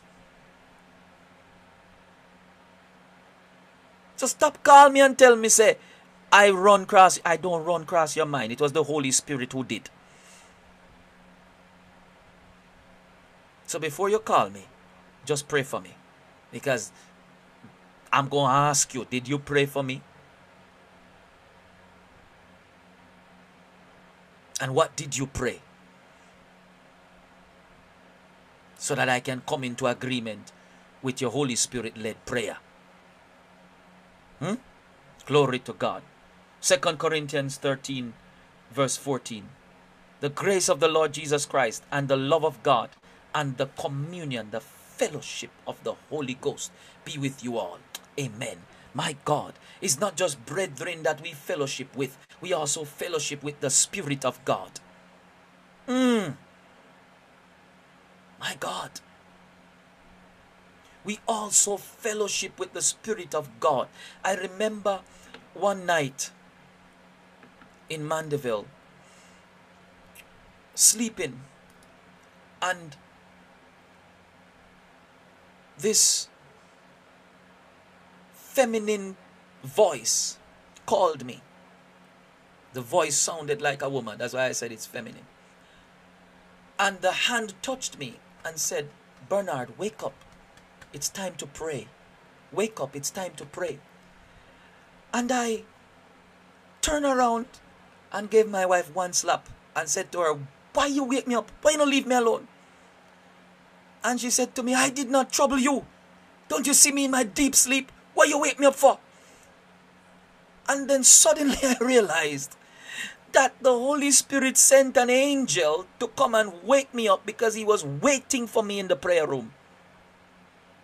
When I got to the prayer room, I felt the presence of God so strong. I stayed in that prayer room from 3 a.m.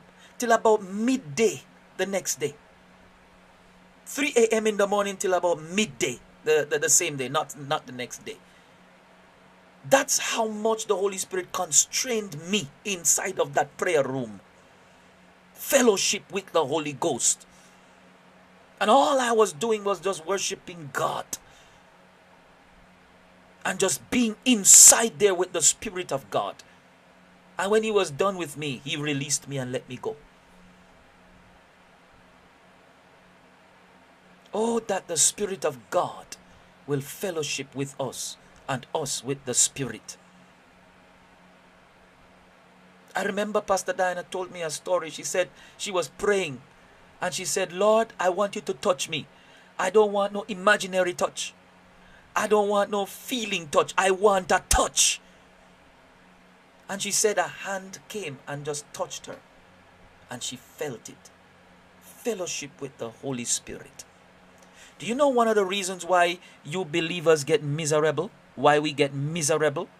Is because we stay away from the place of prayer. Anytime you start getting miserable as a believer, go into prayer. Is the Holy Ghost fighting you? He's telling you that I miss you. I want to fellowship with you. You have been away from me for too long. Why do I say this? Because believers don't get miserable.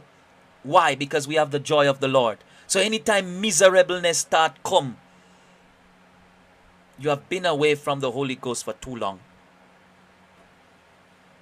I bet you never heard that before. Try it. You will see. Experience teaches wisdom. Fellowship with the Spirit. Holy Spirit, fellowship with me. Holy Spirit, let me fellowship with you. He's here. But he will not go where he's not invited. That's how diplomatic the Holy Ghost is. He's a gentleman, not a spooky man, not a boogeyman. a gentleman. He goes where he is invited. And he invites you to where he is. But if you don't want to come, he will not force you.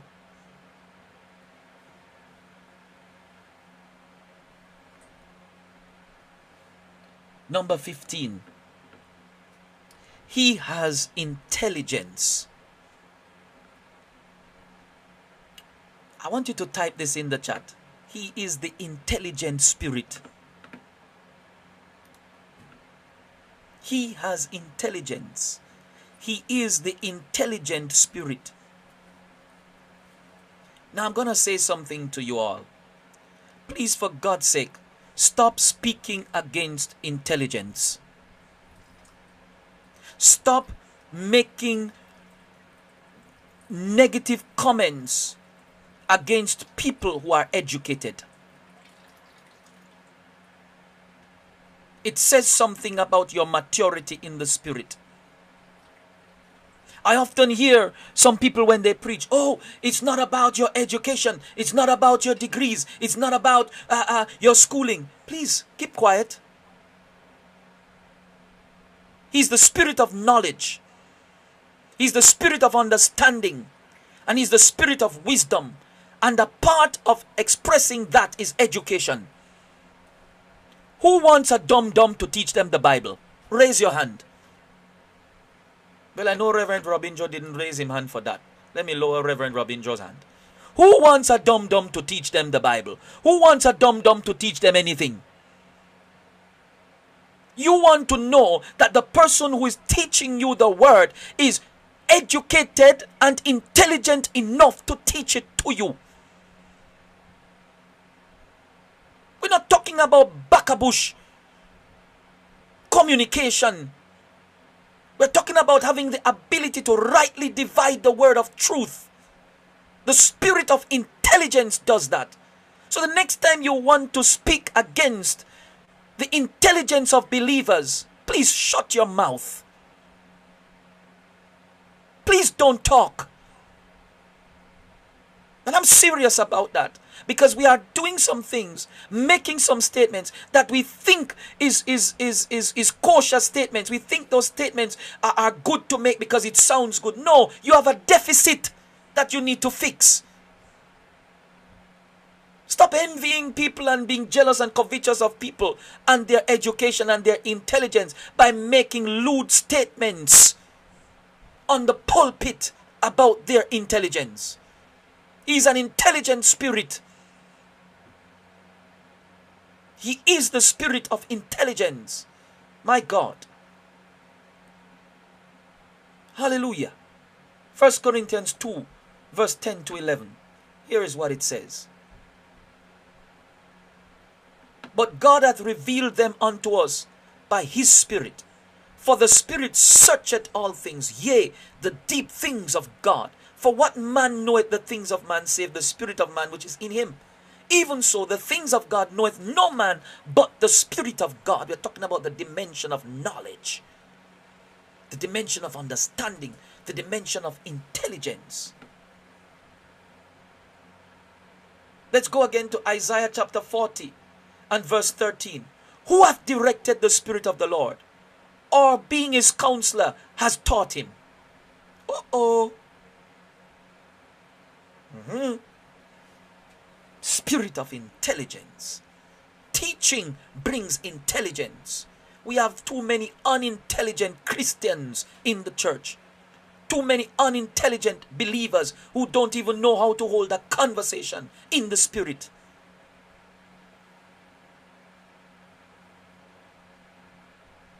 You start talking some deep things and they start looking at you like, huh? What? Huh? What is he saying? Blood of Jesus. You're rebuking what you don't even know. Mm. Because what? There is no intelligence. None. Acts chapter 15, 28. For it seemed good to the Holy Ghost and to us to lay upon you no greater burden than these things necessary. Is intelligent enough to know what to give you. Intelligent enough to know what you can carry and what you can't. That's how deep the intelligence of the Spirit of God is. He's not some spooky spirit. He's not some boogeyman. No. No, no, no, no, no, no, no. What does the dictionary say intelligent means? Having or showing intelligence, especially of a high level.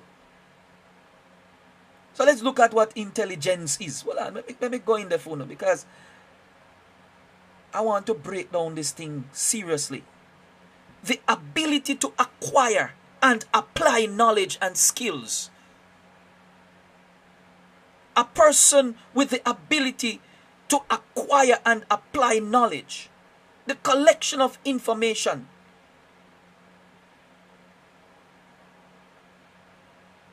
My God, we need some people with the ability of the Spirit, the ability to search things out.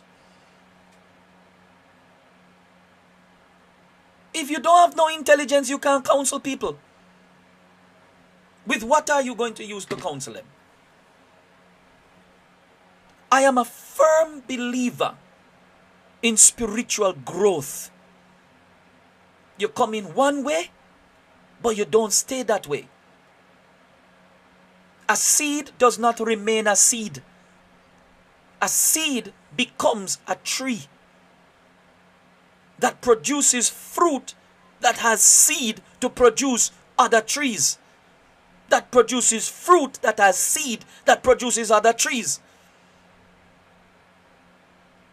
Intelligence begets intelligence. And you can tell the much. Hey, my God, help me tonight, Lord. Help me, Jesus. Please shield me. You can tell the maturity of a church by the level of intelligence of its leader.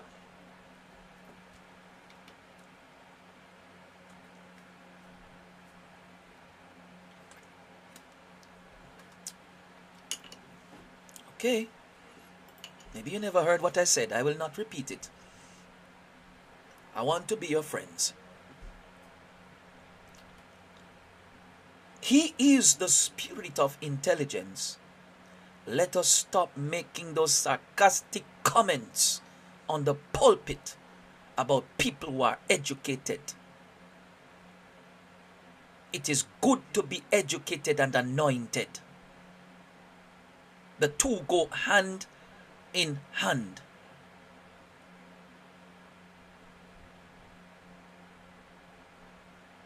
And education and intelligence are two different things. Edu- education is the acquisition of information, intelligence is the ability to apply it.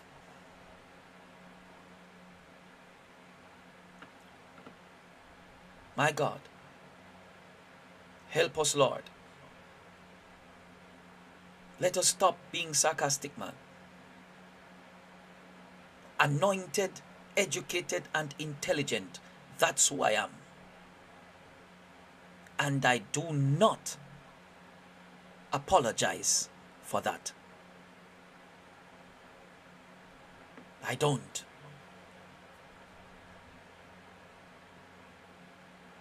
I'm not going to despise people who have not had the ability to go to school. And I'm not going to insult people who had the means to go. Let's be balanced. Bring people up. How? In the Spirit, through the Spirit, by the Spirit, so that they can excel. The Spirit of excellence is one of the names of the Holy Spirit, but there cannot be excellence without intelligence. Excellence brings maturity or let me say, maturity brings excellence. But intelligence precedes maturity. Let's apply ourselves to knowledge. Learn and learn and continue to learn so that you can give an answer to any man who asks you concerning your faith. Don't say to me, oh, Prophet Adam, knowing about Egypt and Pharaoh and those things is not, that's not necessary for me. Yes, it's necessary. Because when you now get into a conversation with these black Hebrews, you can't have a conversation with them if you don't know nothing about Egypt.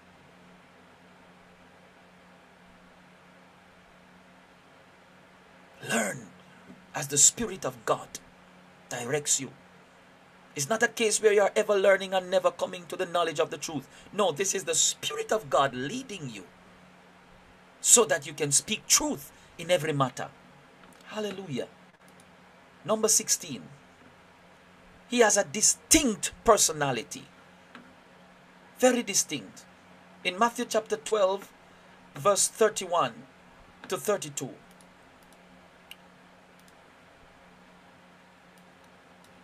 Let's see what it says here now. Therefore I tell you, every sin and blasphemy which will be forgiven, every sin and blasphemy will be forgiven, people, but the blasphemy against the Spirit will not be forgiven. And whosoever speaks a word against the Son of Man will be forgiven, but whoever speaks against the Holy Spirit will not be forgiven, either in this age or in the age to come. This, this should shake us up seriously. This one should shake us seriously. What about the Holy Spirit? That it is so serious that God says, if you blaspheme Him, if you sin against Him, there is no forgiveness for that. That's a serious thing. It tells you something about the Spirit.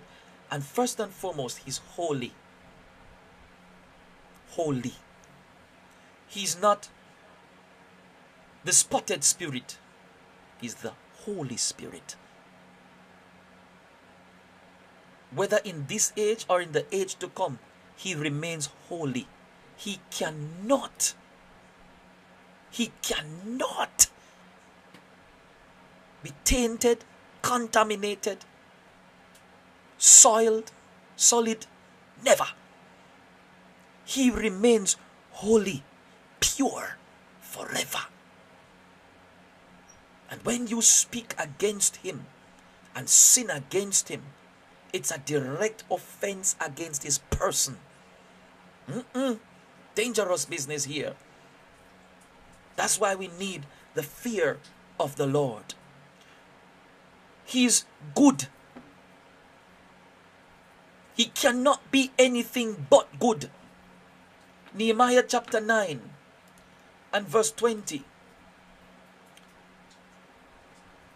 You gave your good spirit to instruct them, and withheld not thy manna from thy mouth, and gave them water for their thirst. He is the good spirit. If you know how to give good gifts, how much more the Father will give the Holy Spirit? In other words, the Father will give that which is good. The ultimate good is to receive the Holy Ghost. Oh my God. Galatians 5 22 to 23 talk about the fruit of the Spirit, and a part of that fruit is goodness. He is good. Romans chapter 1, verse 4. He's holy. Holiness is a distinct personality trait.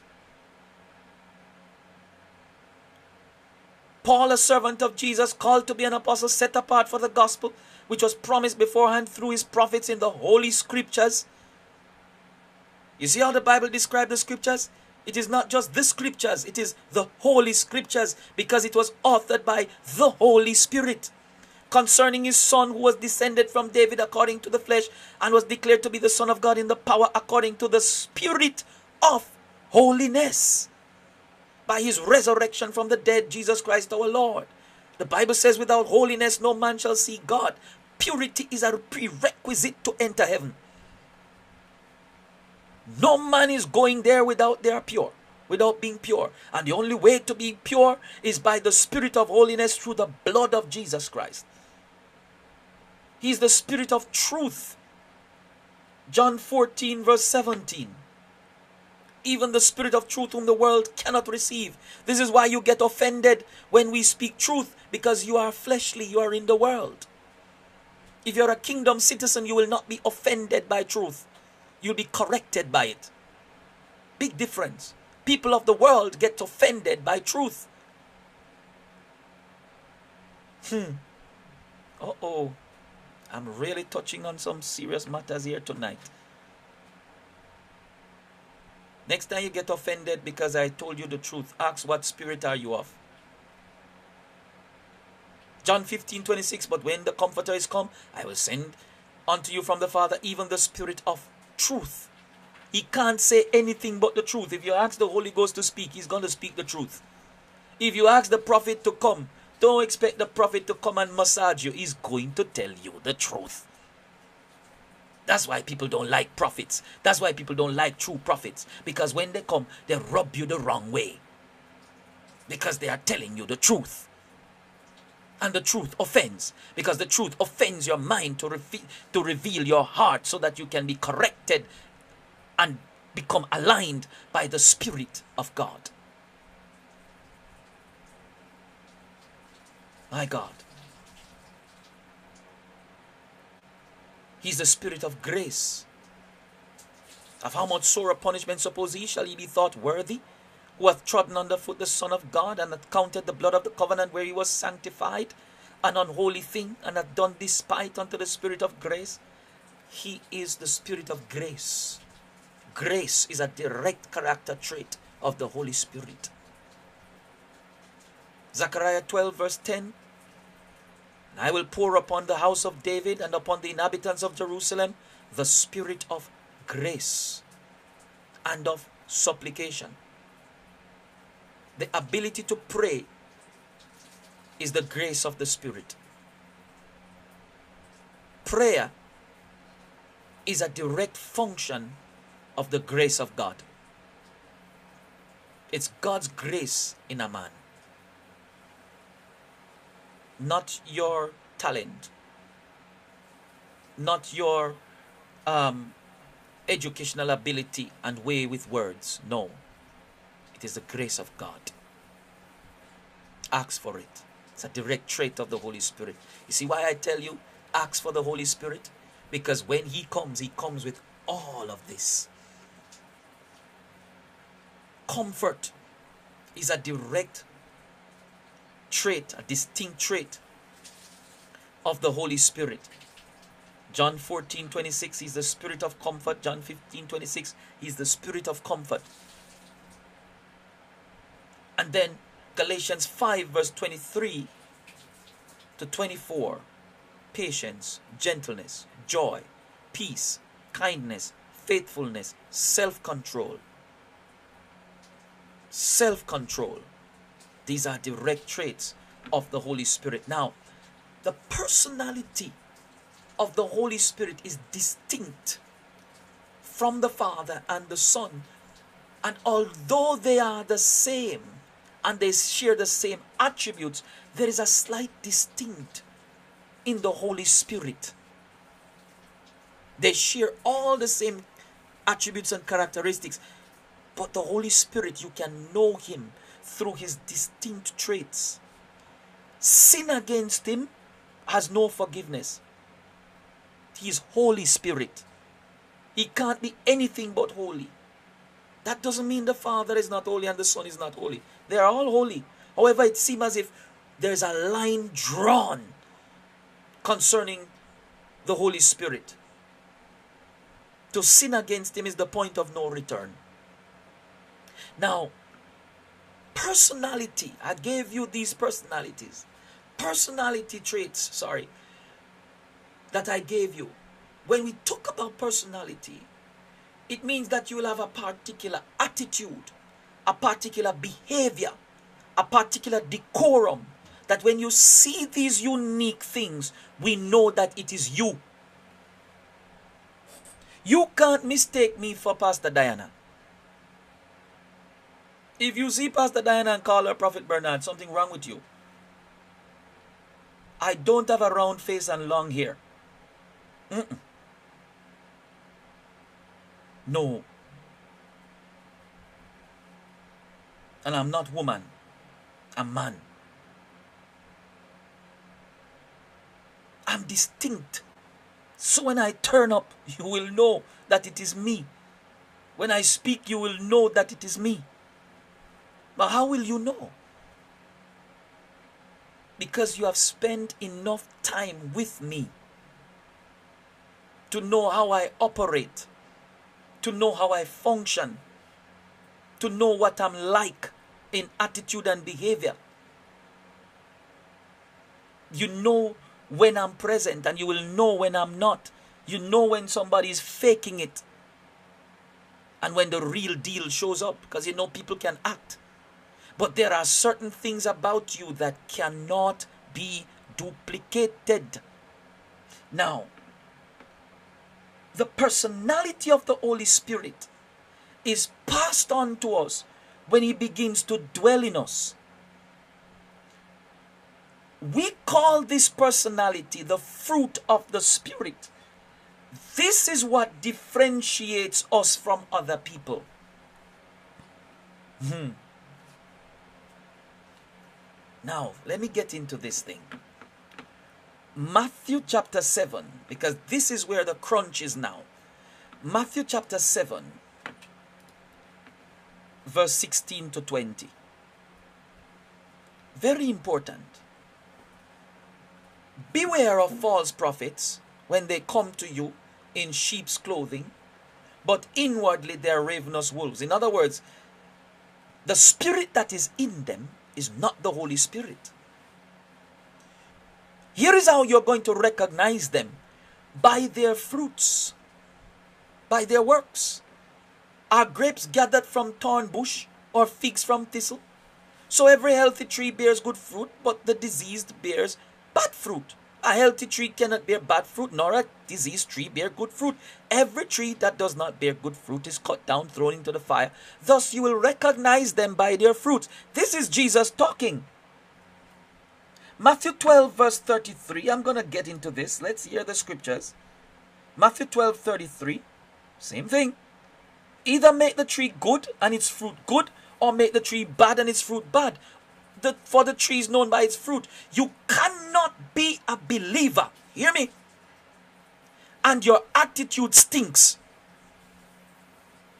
You cannot be a minister of the gospel and you have no self control. You cannot be a prophet and you have no patience. Oh boy. You cannot be a pastor and you're not kind. You cannot be a Christian and you're not gentle. Oh, now I am touching your toes. Now I'm getting under your fingernail. The character of the Spirit is what causes people to know that we are Christians. People don't know you're a Christian because you speak tongues, which is speak tongues too. People don't know you're a Christian because you can prophesy deep and go deep, papa, and, and prophesy forensic, whatever that is. No. Even devils prophesy too.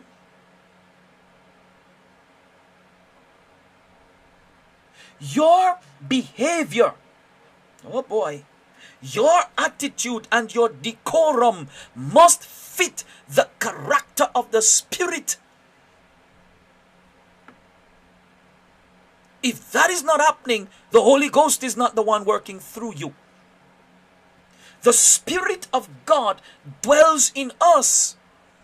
And when His Spirit begins to dwell in us, then we begin to look like Him. The reason why the Spirit of God comes to dwell in us is so that we can have His attitude. It is possible for other people who are carrying demonic spirits to mimic powers of the spirit realm of the spirit realm. It is possible. I know this. What sets us apart as Christians is not the demonstration of power or the gifts, but the fruit of the Spirit. Demons cannot produce the fruit of the Spirit. Demons, no matter how hard they try to make you look like sheep, they cannot make you become sheep. Whenever the Holy Spirit is at work through us, listen to me very carefully and listen well because this will help some of you to be delivered. Whenever the Holy Spirit is at work through us, He does not make us lose control or behave in erratic manners. Don't kick over the bench and tell me that you are in the Spirit. You are possessed.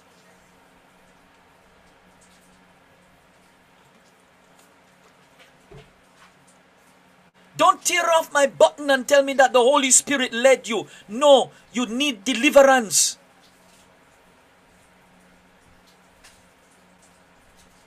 Don't be rolling on the floor,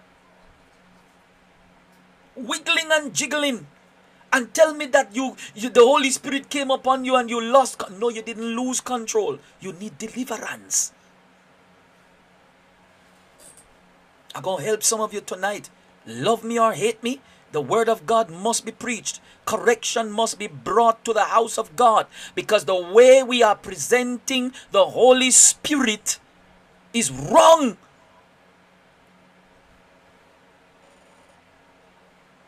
The Holy, my God, there is no such thing as I am not in control when the Spirit is upon me or I don't know what I'm doing. There's no such thing. There is no such thing. I'm going to explain some things to you. Follow me because this is where you are going to get the crunch of my teaching tonight. The Holy Spirit is a gentle man, not a boogeyman, not a spooky man, a gentleman, a diplomat, a king, prince, His behavior does not make us look spooky. Too many spooky behaviors going on in church that we are calling Holy Spirit. It is time to tear off the veil. It is time to rip off that cloth. I don't know where you got it, but it has to leave you. Holy Spirit is not spooky.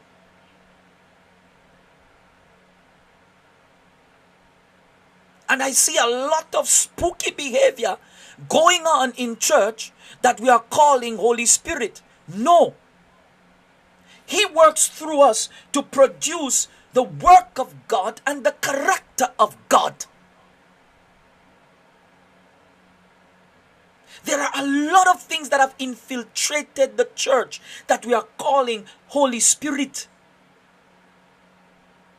that we are baptizing and calling it manifestation of, of the Holy Spirit. It is not. These are manifestations of demons. Now, let me explain something to you. We know that these things are not the Holy Spirit because the behavior that is exhibited is not in keeping with the Spirit of God. Go read your Bible. Go look for every moment when the Holy Spirit comes upon a man. That man does not behave spooky. Ezekiel said he was caught by the lock of his hair. Did you see the Bible say Ezekiel was rolling on the ground, foaming at the mouth, moving his hand and beating up everybody around him? No. The Holy Spirit came upon Daniel and he was slain in the Spirit. Do you see Daniel behaving as if he was possessed? No. Yes, Brother Cavell. Sinister and ghostly, spooky and boogie in a way that causes fear and uneasiness. Yes, bam. Yes, so it is. These works, these operations, these manifestations that we are baptizing is not the Holy Ghost. These are demons manifesting. And because you are not deliverance ministers, you don't know. So you are embracing these things, thinking that this is the Holy Spirit. There are a lot of African spiritual invasions that are directly from spiritist behaviors of shrines over the past few years, a lot of invasion has taken place in the church. A lot. Because we are calling people who are in cults witches, warlocks, and their mystical operations, Holy Spirit. But because you have no discernment, you don't know that this is not the Spirit. And then you are adopting these behaviors. When the Holy Spirit comes upon you to move through you, you now begin to adopt these behaviors to think that, okay, I must behave spooky for people to know that the Spirit of God is on me. No. I want you to remember this. The Holy Spirit does not make me lose control of myself.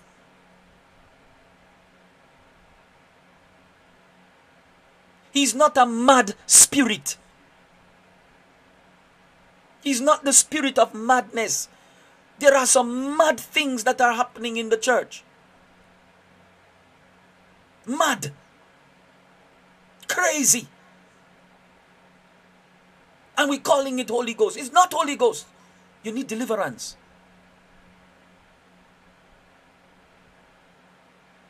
You don't have to demonstrate the Spirit being on you by leaking over everybody. I'm going to explain some things. Whenever there is evidence of loss of control, whenever the Spirit of God is moving through us, it could be one of these five reasons that I'm going to give you. Take what is yours, leave what is not, and if you don't understand it, keep quiet until you do. Number one, the power of the Spirit has located an element in your life, in your soul, where you need deliverance.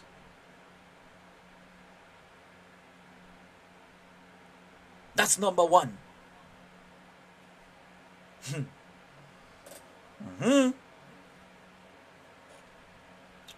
There is something in you that the power of God touched that began to manifest.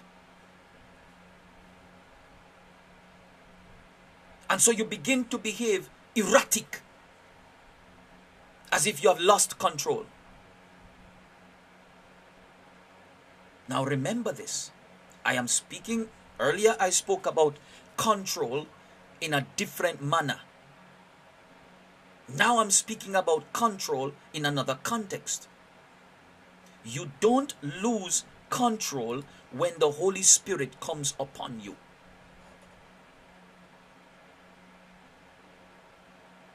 Because his manifestation, he does not want people to think that he's spooky spirit. No, he's not spooky spirit. He's spirit of grace, spirit of gentleness, mm-hmm. spirit of God. If you don't believe me, please use Jesus as your benchmark of manifestation and operation. Please use Jesus. Model him. Stop modeling things you see out there. Model Jesus. You know, because some of you have been so accustomed to when people get in the spirit, they start screaming, they start kicking, they start rolling, they start thumping, they start doing all kinds of things. You think that, okay, I must do that too when the Spirit comes upon me. You are learning by association. And because you have not had somebody who carries the spirit of excellence, intelligence, grace, and diplomacy, you have not learned otherwise. Maybe you were cultured in a spiritist movement. I'm getting there. Number two, you are immature in handling the power of the Spirit. Immaturity because you are not discipled and mentored by people who are experienced in the operation, manifestation, and fruit of the Spirit. Immaturity breeds immaturity. Immaturity, eh, my God. Immaturity cannot breed maturity.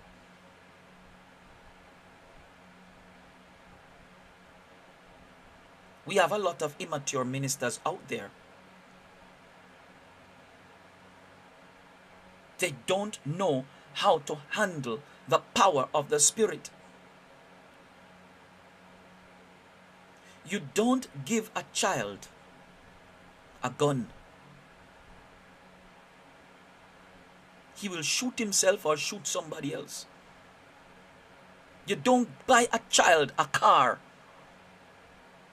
Even if he knows how to drive, he's not mature for the road.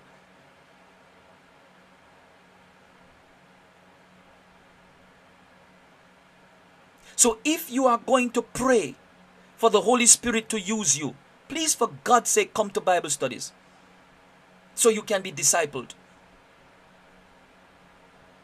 It's your duty to apply yourself to discipleship.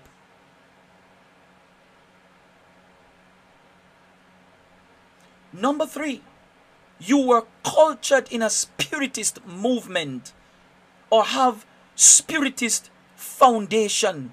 You need deliverance. Some of you are coming out of revivalist churches. You have revivalist foundations. You were baptized in revivalist at revivalist altars. Revivalist spirits were transferred to you when, when hands were laid on you. And so now when the real Holy Ghost shows up, that spirit in you start manifest. It's not Holy Spirit manifesting. Holy Spirit manifests through the gifts of the Spirit. We're going to talk about this. Please, our teachings are going to get deep. You need deliverance. If every time the atmosphere becomes charged with the presence of God, you lose control. You need deliverance. Oh, Jesus, help me. Listen, I am not picking on anybody. I am not throwing stone at no one. I am correcting a spirit that has entered the church for God's sake. And if you need correction, take correction. Because we have to speak truth in this hour. A lot of you have been infiltrated by spiritism. When spiritism is in operation, erratic behavior is commonplace. You think you have to jump around the altar, run around the church? You think you have to stand up on the bench, drop on the floor and roll? You think you have to chop with your hand and all kinds of stuff? Mm-mm.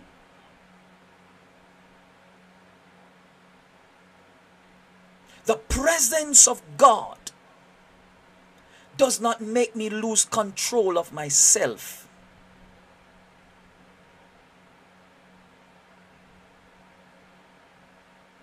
Now, let me take you to the scriptures.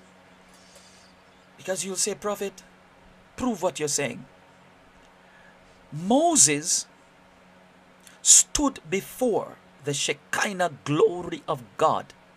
Fire, light, glory, thunder, lightning, word. What happened? Did Moses lose control and run down the mountain and start bawl to Jethro and say, Whoa, Lord, help me, me dead now? No. He fell to his knees. Did he take up a stone and throw at the bush? No. He fell to his knees. And he said, Here am I. Very much in control of himself. And when the power of God came on him, Moses was so powerful in the spirit that even before the man speak, his words were being fulfilled. Now that's a prophetic dimension I want to reach. Never lose control. We are confusing being slain in the spirit because of the weight of the glory with rolling and tumbling and wiggling like snake. Please, you need deliverance. Will the deliverance ministers rise up? You don't go hugging up that spirit. No, you go casting it out. Come out of him in the name of Jesus. Come out. I remember this apostle. She called herself apostle. And when she called herself apostle, well, I respect her. She's apostle. She says she's apostle. I respect that. High office. Glory to God. Blessed be the name of Jesus. Sitting there all holy, baptized in lime juice and sour sweetie. Looking at me when I was teaching about deliverance. As if I didn't know what I was saying. As if what I was saying is, is far from the truth. I said, well, I see that one, I ain't paying that one any mind. So, when time came for prayer, I said, let us stand. We are now going to pray. I lifted my hands. Father, in the mighty name of Jesus, I welcome your presence in this place. Boom! Apostle on the ground. We don't even start praying. Apostle on the ground. I'm not boasting, please. I'm not boasting. This is not a boast. I'm just using this, using this as an example. Apostle is on the ground. Ah, God, and all kind of sound coming out. So I said to the pastor that invited me, I said, that one. I said, who that one? He said, prophet, that one, the apostle, eh? I said, the apostle. And I continued praying while that one is rolling on the floor uh, over there in the corner and going on. And then I couldn't take it no more. I went over and I said, Now in the name of Jesus, come out of her. And went to administer deliverance through the Spirit of God. When Apostle came back to her senses, Apostle sat down. She was now no longer on her chair of pride and arrogance and ego. And she asked me now, um, Prophet, what happened to me? I said, Well, you were going through deliverance. She said, But I didn't know that was in me. I said, Well, the Holy Spirit knows what is in you and He knows what to remove. And she said she's not coming back to the conference because that should have not happened to her, should have never happened to her. Said, that's your choice, you know. But when I looked at the woman, the woman looked spooky. Honestly speaking, she looked spooky. Head wrap up and tie up. The only thing left was two, two pencil to go inside there. I said, Well, I know what kind of spirit this one is of by the way she dresses. You understand? Mm-hmm. Serious, serious thing I'm telling you. You see, we have we have allowed some things into the church, spiritism, and calling it Holy Spirit. So now, when the real Holy Ghost turns up and things start happening, then people now become embarrassed. Why should you be? Why should you be if the Holy Spirit, if the real Holy Ghost is with you? Why should you be? He doesn't embarrass people. He doesn't do that. Especially if you are appointed to a high office in Jesus. Can you imagine your pastor going through deliverance while he is supposed to be taking you through deliverance? Can you imagine these things? One of the things I practice as a minister is that I don't pray for pastors, leaders publicly. I prophesy to them. But when it comes on to deliverance, I don't do it publicly because I don't want people to look at them in certain ways. If the Holy Spirit begins to deal with certain issues that are in them, because people can lose respect for you. Come on. I'm not here trying to shame people. I, I want you to, to get the real Holy Ghost, to know when He's moving, to know when He is the one operating, different from when a demon is, is, is manifesting or when somebody's emotion is at work. Here is the next one, number four. We're talking about evidence of loss of control whenever the Spirit of God is moving through us. Why does this happen? Number four, you are too emotional, enthusiastic, excited, and expressive. In other words, you are fleshly and unsanctified. Flesh causes you to behave erratic. You can express emotion without losing character and control. That is true maturity.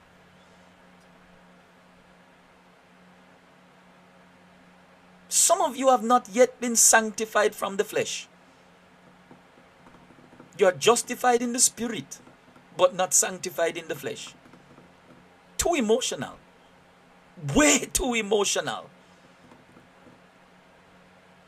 The pastor is preaching, teaching. Glory to God! Hallelujah! Preach it. No, shut up and listen.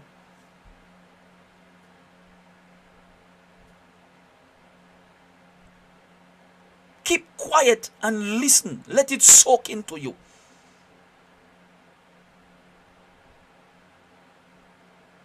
Worship is happening, and before you know it, you are gone.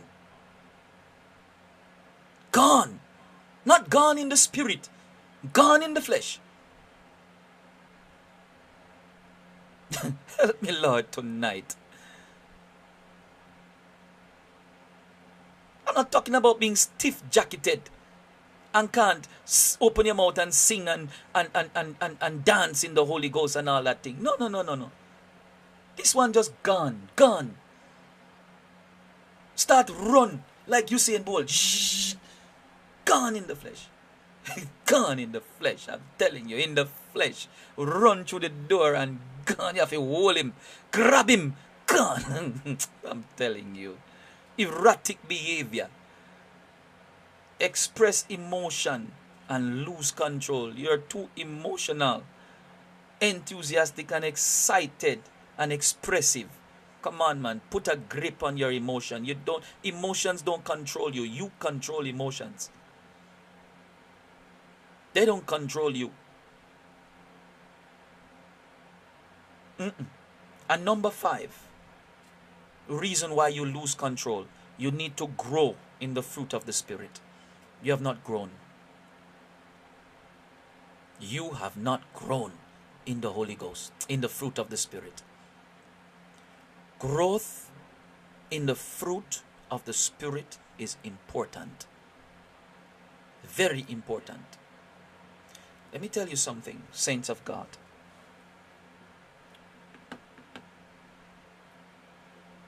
You can be very anointed and demonstrating the gifts of the Spirit, and it's oozing out of you. But let me tell you something. If you're immature and lose control when the presence of God is working through you, people will eventually sideline you. Because they will look at you as a spooky man or a boogeyman. Mhm. And they will not want you in their church. You can come, but you will not do anything.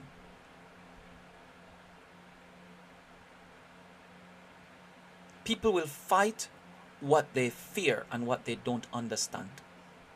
As a matter of fact, what people don't understand, they will fear, and what they fear, they will fight.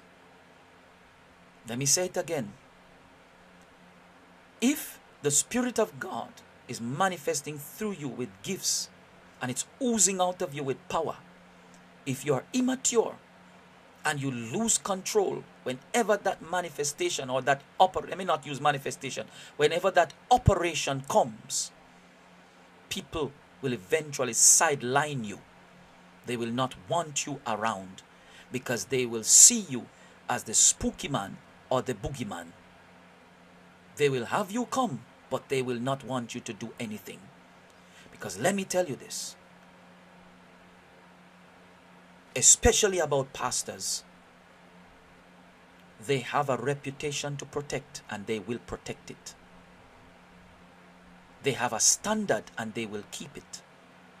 Either you meet their standard or you're above it. But if you're ever below it, goodbye, world. I stay no longer with you. This is fact. This is real. This is true. Are you hearing me, saints of God? The Holy Spirit is going to anoint you, He's going to gift you, He's going to empower you. Don't ever lose control. You're not the spooky man, you're not the boogeyman. You are the man of God, the woman of God. There's a certain level of standard, excellence, and decorum that comes with you once you name the name of Christ. When the Pharisees spoke about Peter, they said, This man has been with Jesus. Peter, before he met Jesus, was a very erratic man. He will chop off your ears without asking. And then when it cut off, he will say, Oh, that was your ears. I was going for your neck. we have to correct some matters here. The Holy Spirit is a gentleman. The Holy Spirit is a diplomat. The Holy Spirit is king. He doesn't behave spooky and boogie.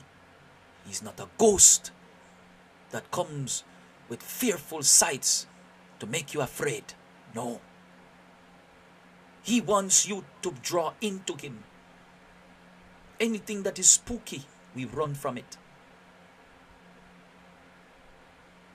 If Jesus was demonstrating the power spookily, people would not gather together with Him. One of the reasons we are given the indwelling of the Spirit is so that we can have the personality of God. Stop telling me that as a Christian, you don't have patience, that you're unkind, that you're brash, rash, and harsh with people. No! You need deliverance. Full stop. That spirit needs to come out of you. And if it's your flesh, it needs to be cut out.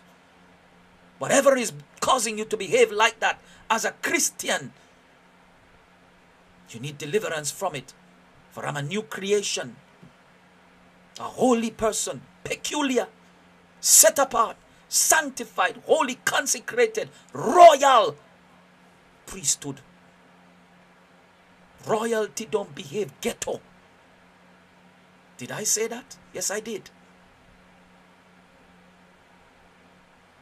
There is a certain decorum that comes with royalty. Hallelujah. Let's conclude this. God made it possible for us to know, relate, and fellowship with the Holy Spirit. He must be taught. John 15 26 to 27 and 2 Timothy 2, verse 2. Let's see what the Bible says. We're going to read the scriptures. Let me see if I can get there quickly. John 15, verse 26 to 27. But when the Helper comes, whom I will send to you from the Father, the Spirit of truth who proceeds from the Father, he will bear witness of me, and you will also bear witness because you have been with me from the beginning. The Holy Spirit must be taught. 2 Timothy chapter 2 and verse 2 we must teach about the Holy Spirit because if we don't teach about the Holy Spirit, then other spirits will come in, we will receive them and think it is the Spirit of God. And these things that thou hast heard of me among many witnesses, the same commit thou to faithful men who shall be able to teach others also. We must teach about the Holy Ghost. The Holy Spirit must be sought after. First Chronicles chapter 16 and verse 11. First Chronicles 16 and verse 11, it says, uh, seek the Lord and His strength, seek His presence continually. We must continuously seek the Holy Spirit. Hebrews chapter 11 and verse 6. Let's get there quickly. Hebrews chapter 11 6 but without faith it is impossible to please him for he that cometh to god must believe that he is and that he is a rewarder of them that diligently seek him Holy Spirit must be sought. Holy Spirit must be worshipped. Hebrews chapter 12 and verse 28 to 29. Let's see what that says. Hebrews chapter 12 and verse 28 to 29. My God. Therefore, let us be grateful for receiving a kingdom that cannot be shaken, and thus let us offer to God acceptable worship with reverence and awe, for our God is a consuming fire. One of the names of the Holy Spirit is consuming fire. He ought to be worshipped. My God, He must be invited into our lives. Galatians chapter 5 and verse 16. This I say then, walk in the Spirit, and you shall not fulfill the lust of the flesh. Invite Him in, invite Him into your life, my God. And number five, He must be listened to and He must be followed. John 16 and verse 13. My God, howbeit when he, the Spirit of truth, comes, he will guide you into all truth. My God, for he shall not speak of himself, but whatsoever he shall hear, that he shall speak, and he will show you things to come. Without the Holy Spirit, brethren, our salvation is impossible, and our Christian walk difficult. We need him to survive. He is the air we breathe. Glory be to God. Hallelujah. The Spirit of God we can know Him. He wants us to know Him, and we must know Him with all our heart. Amen and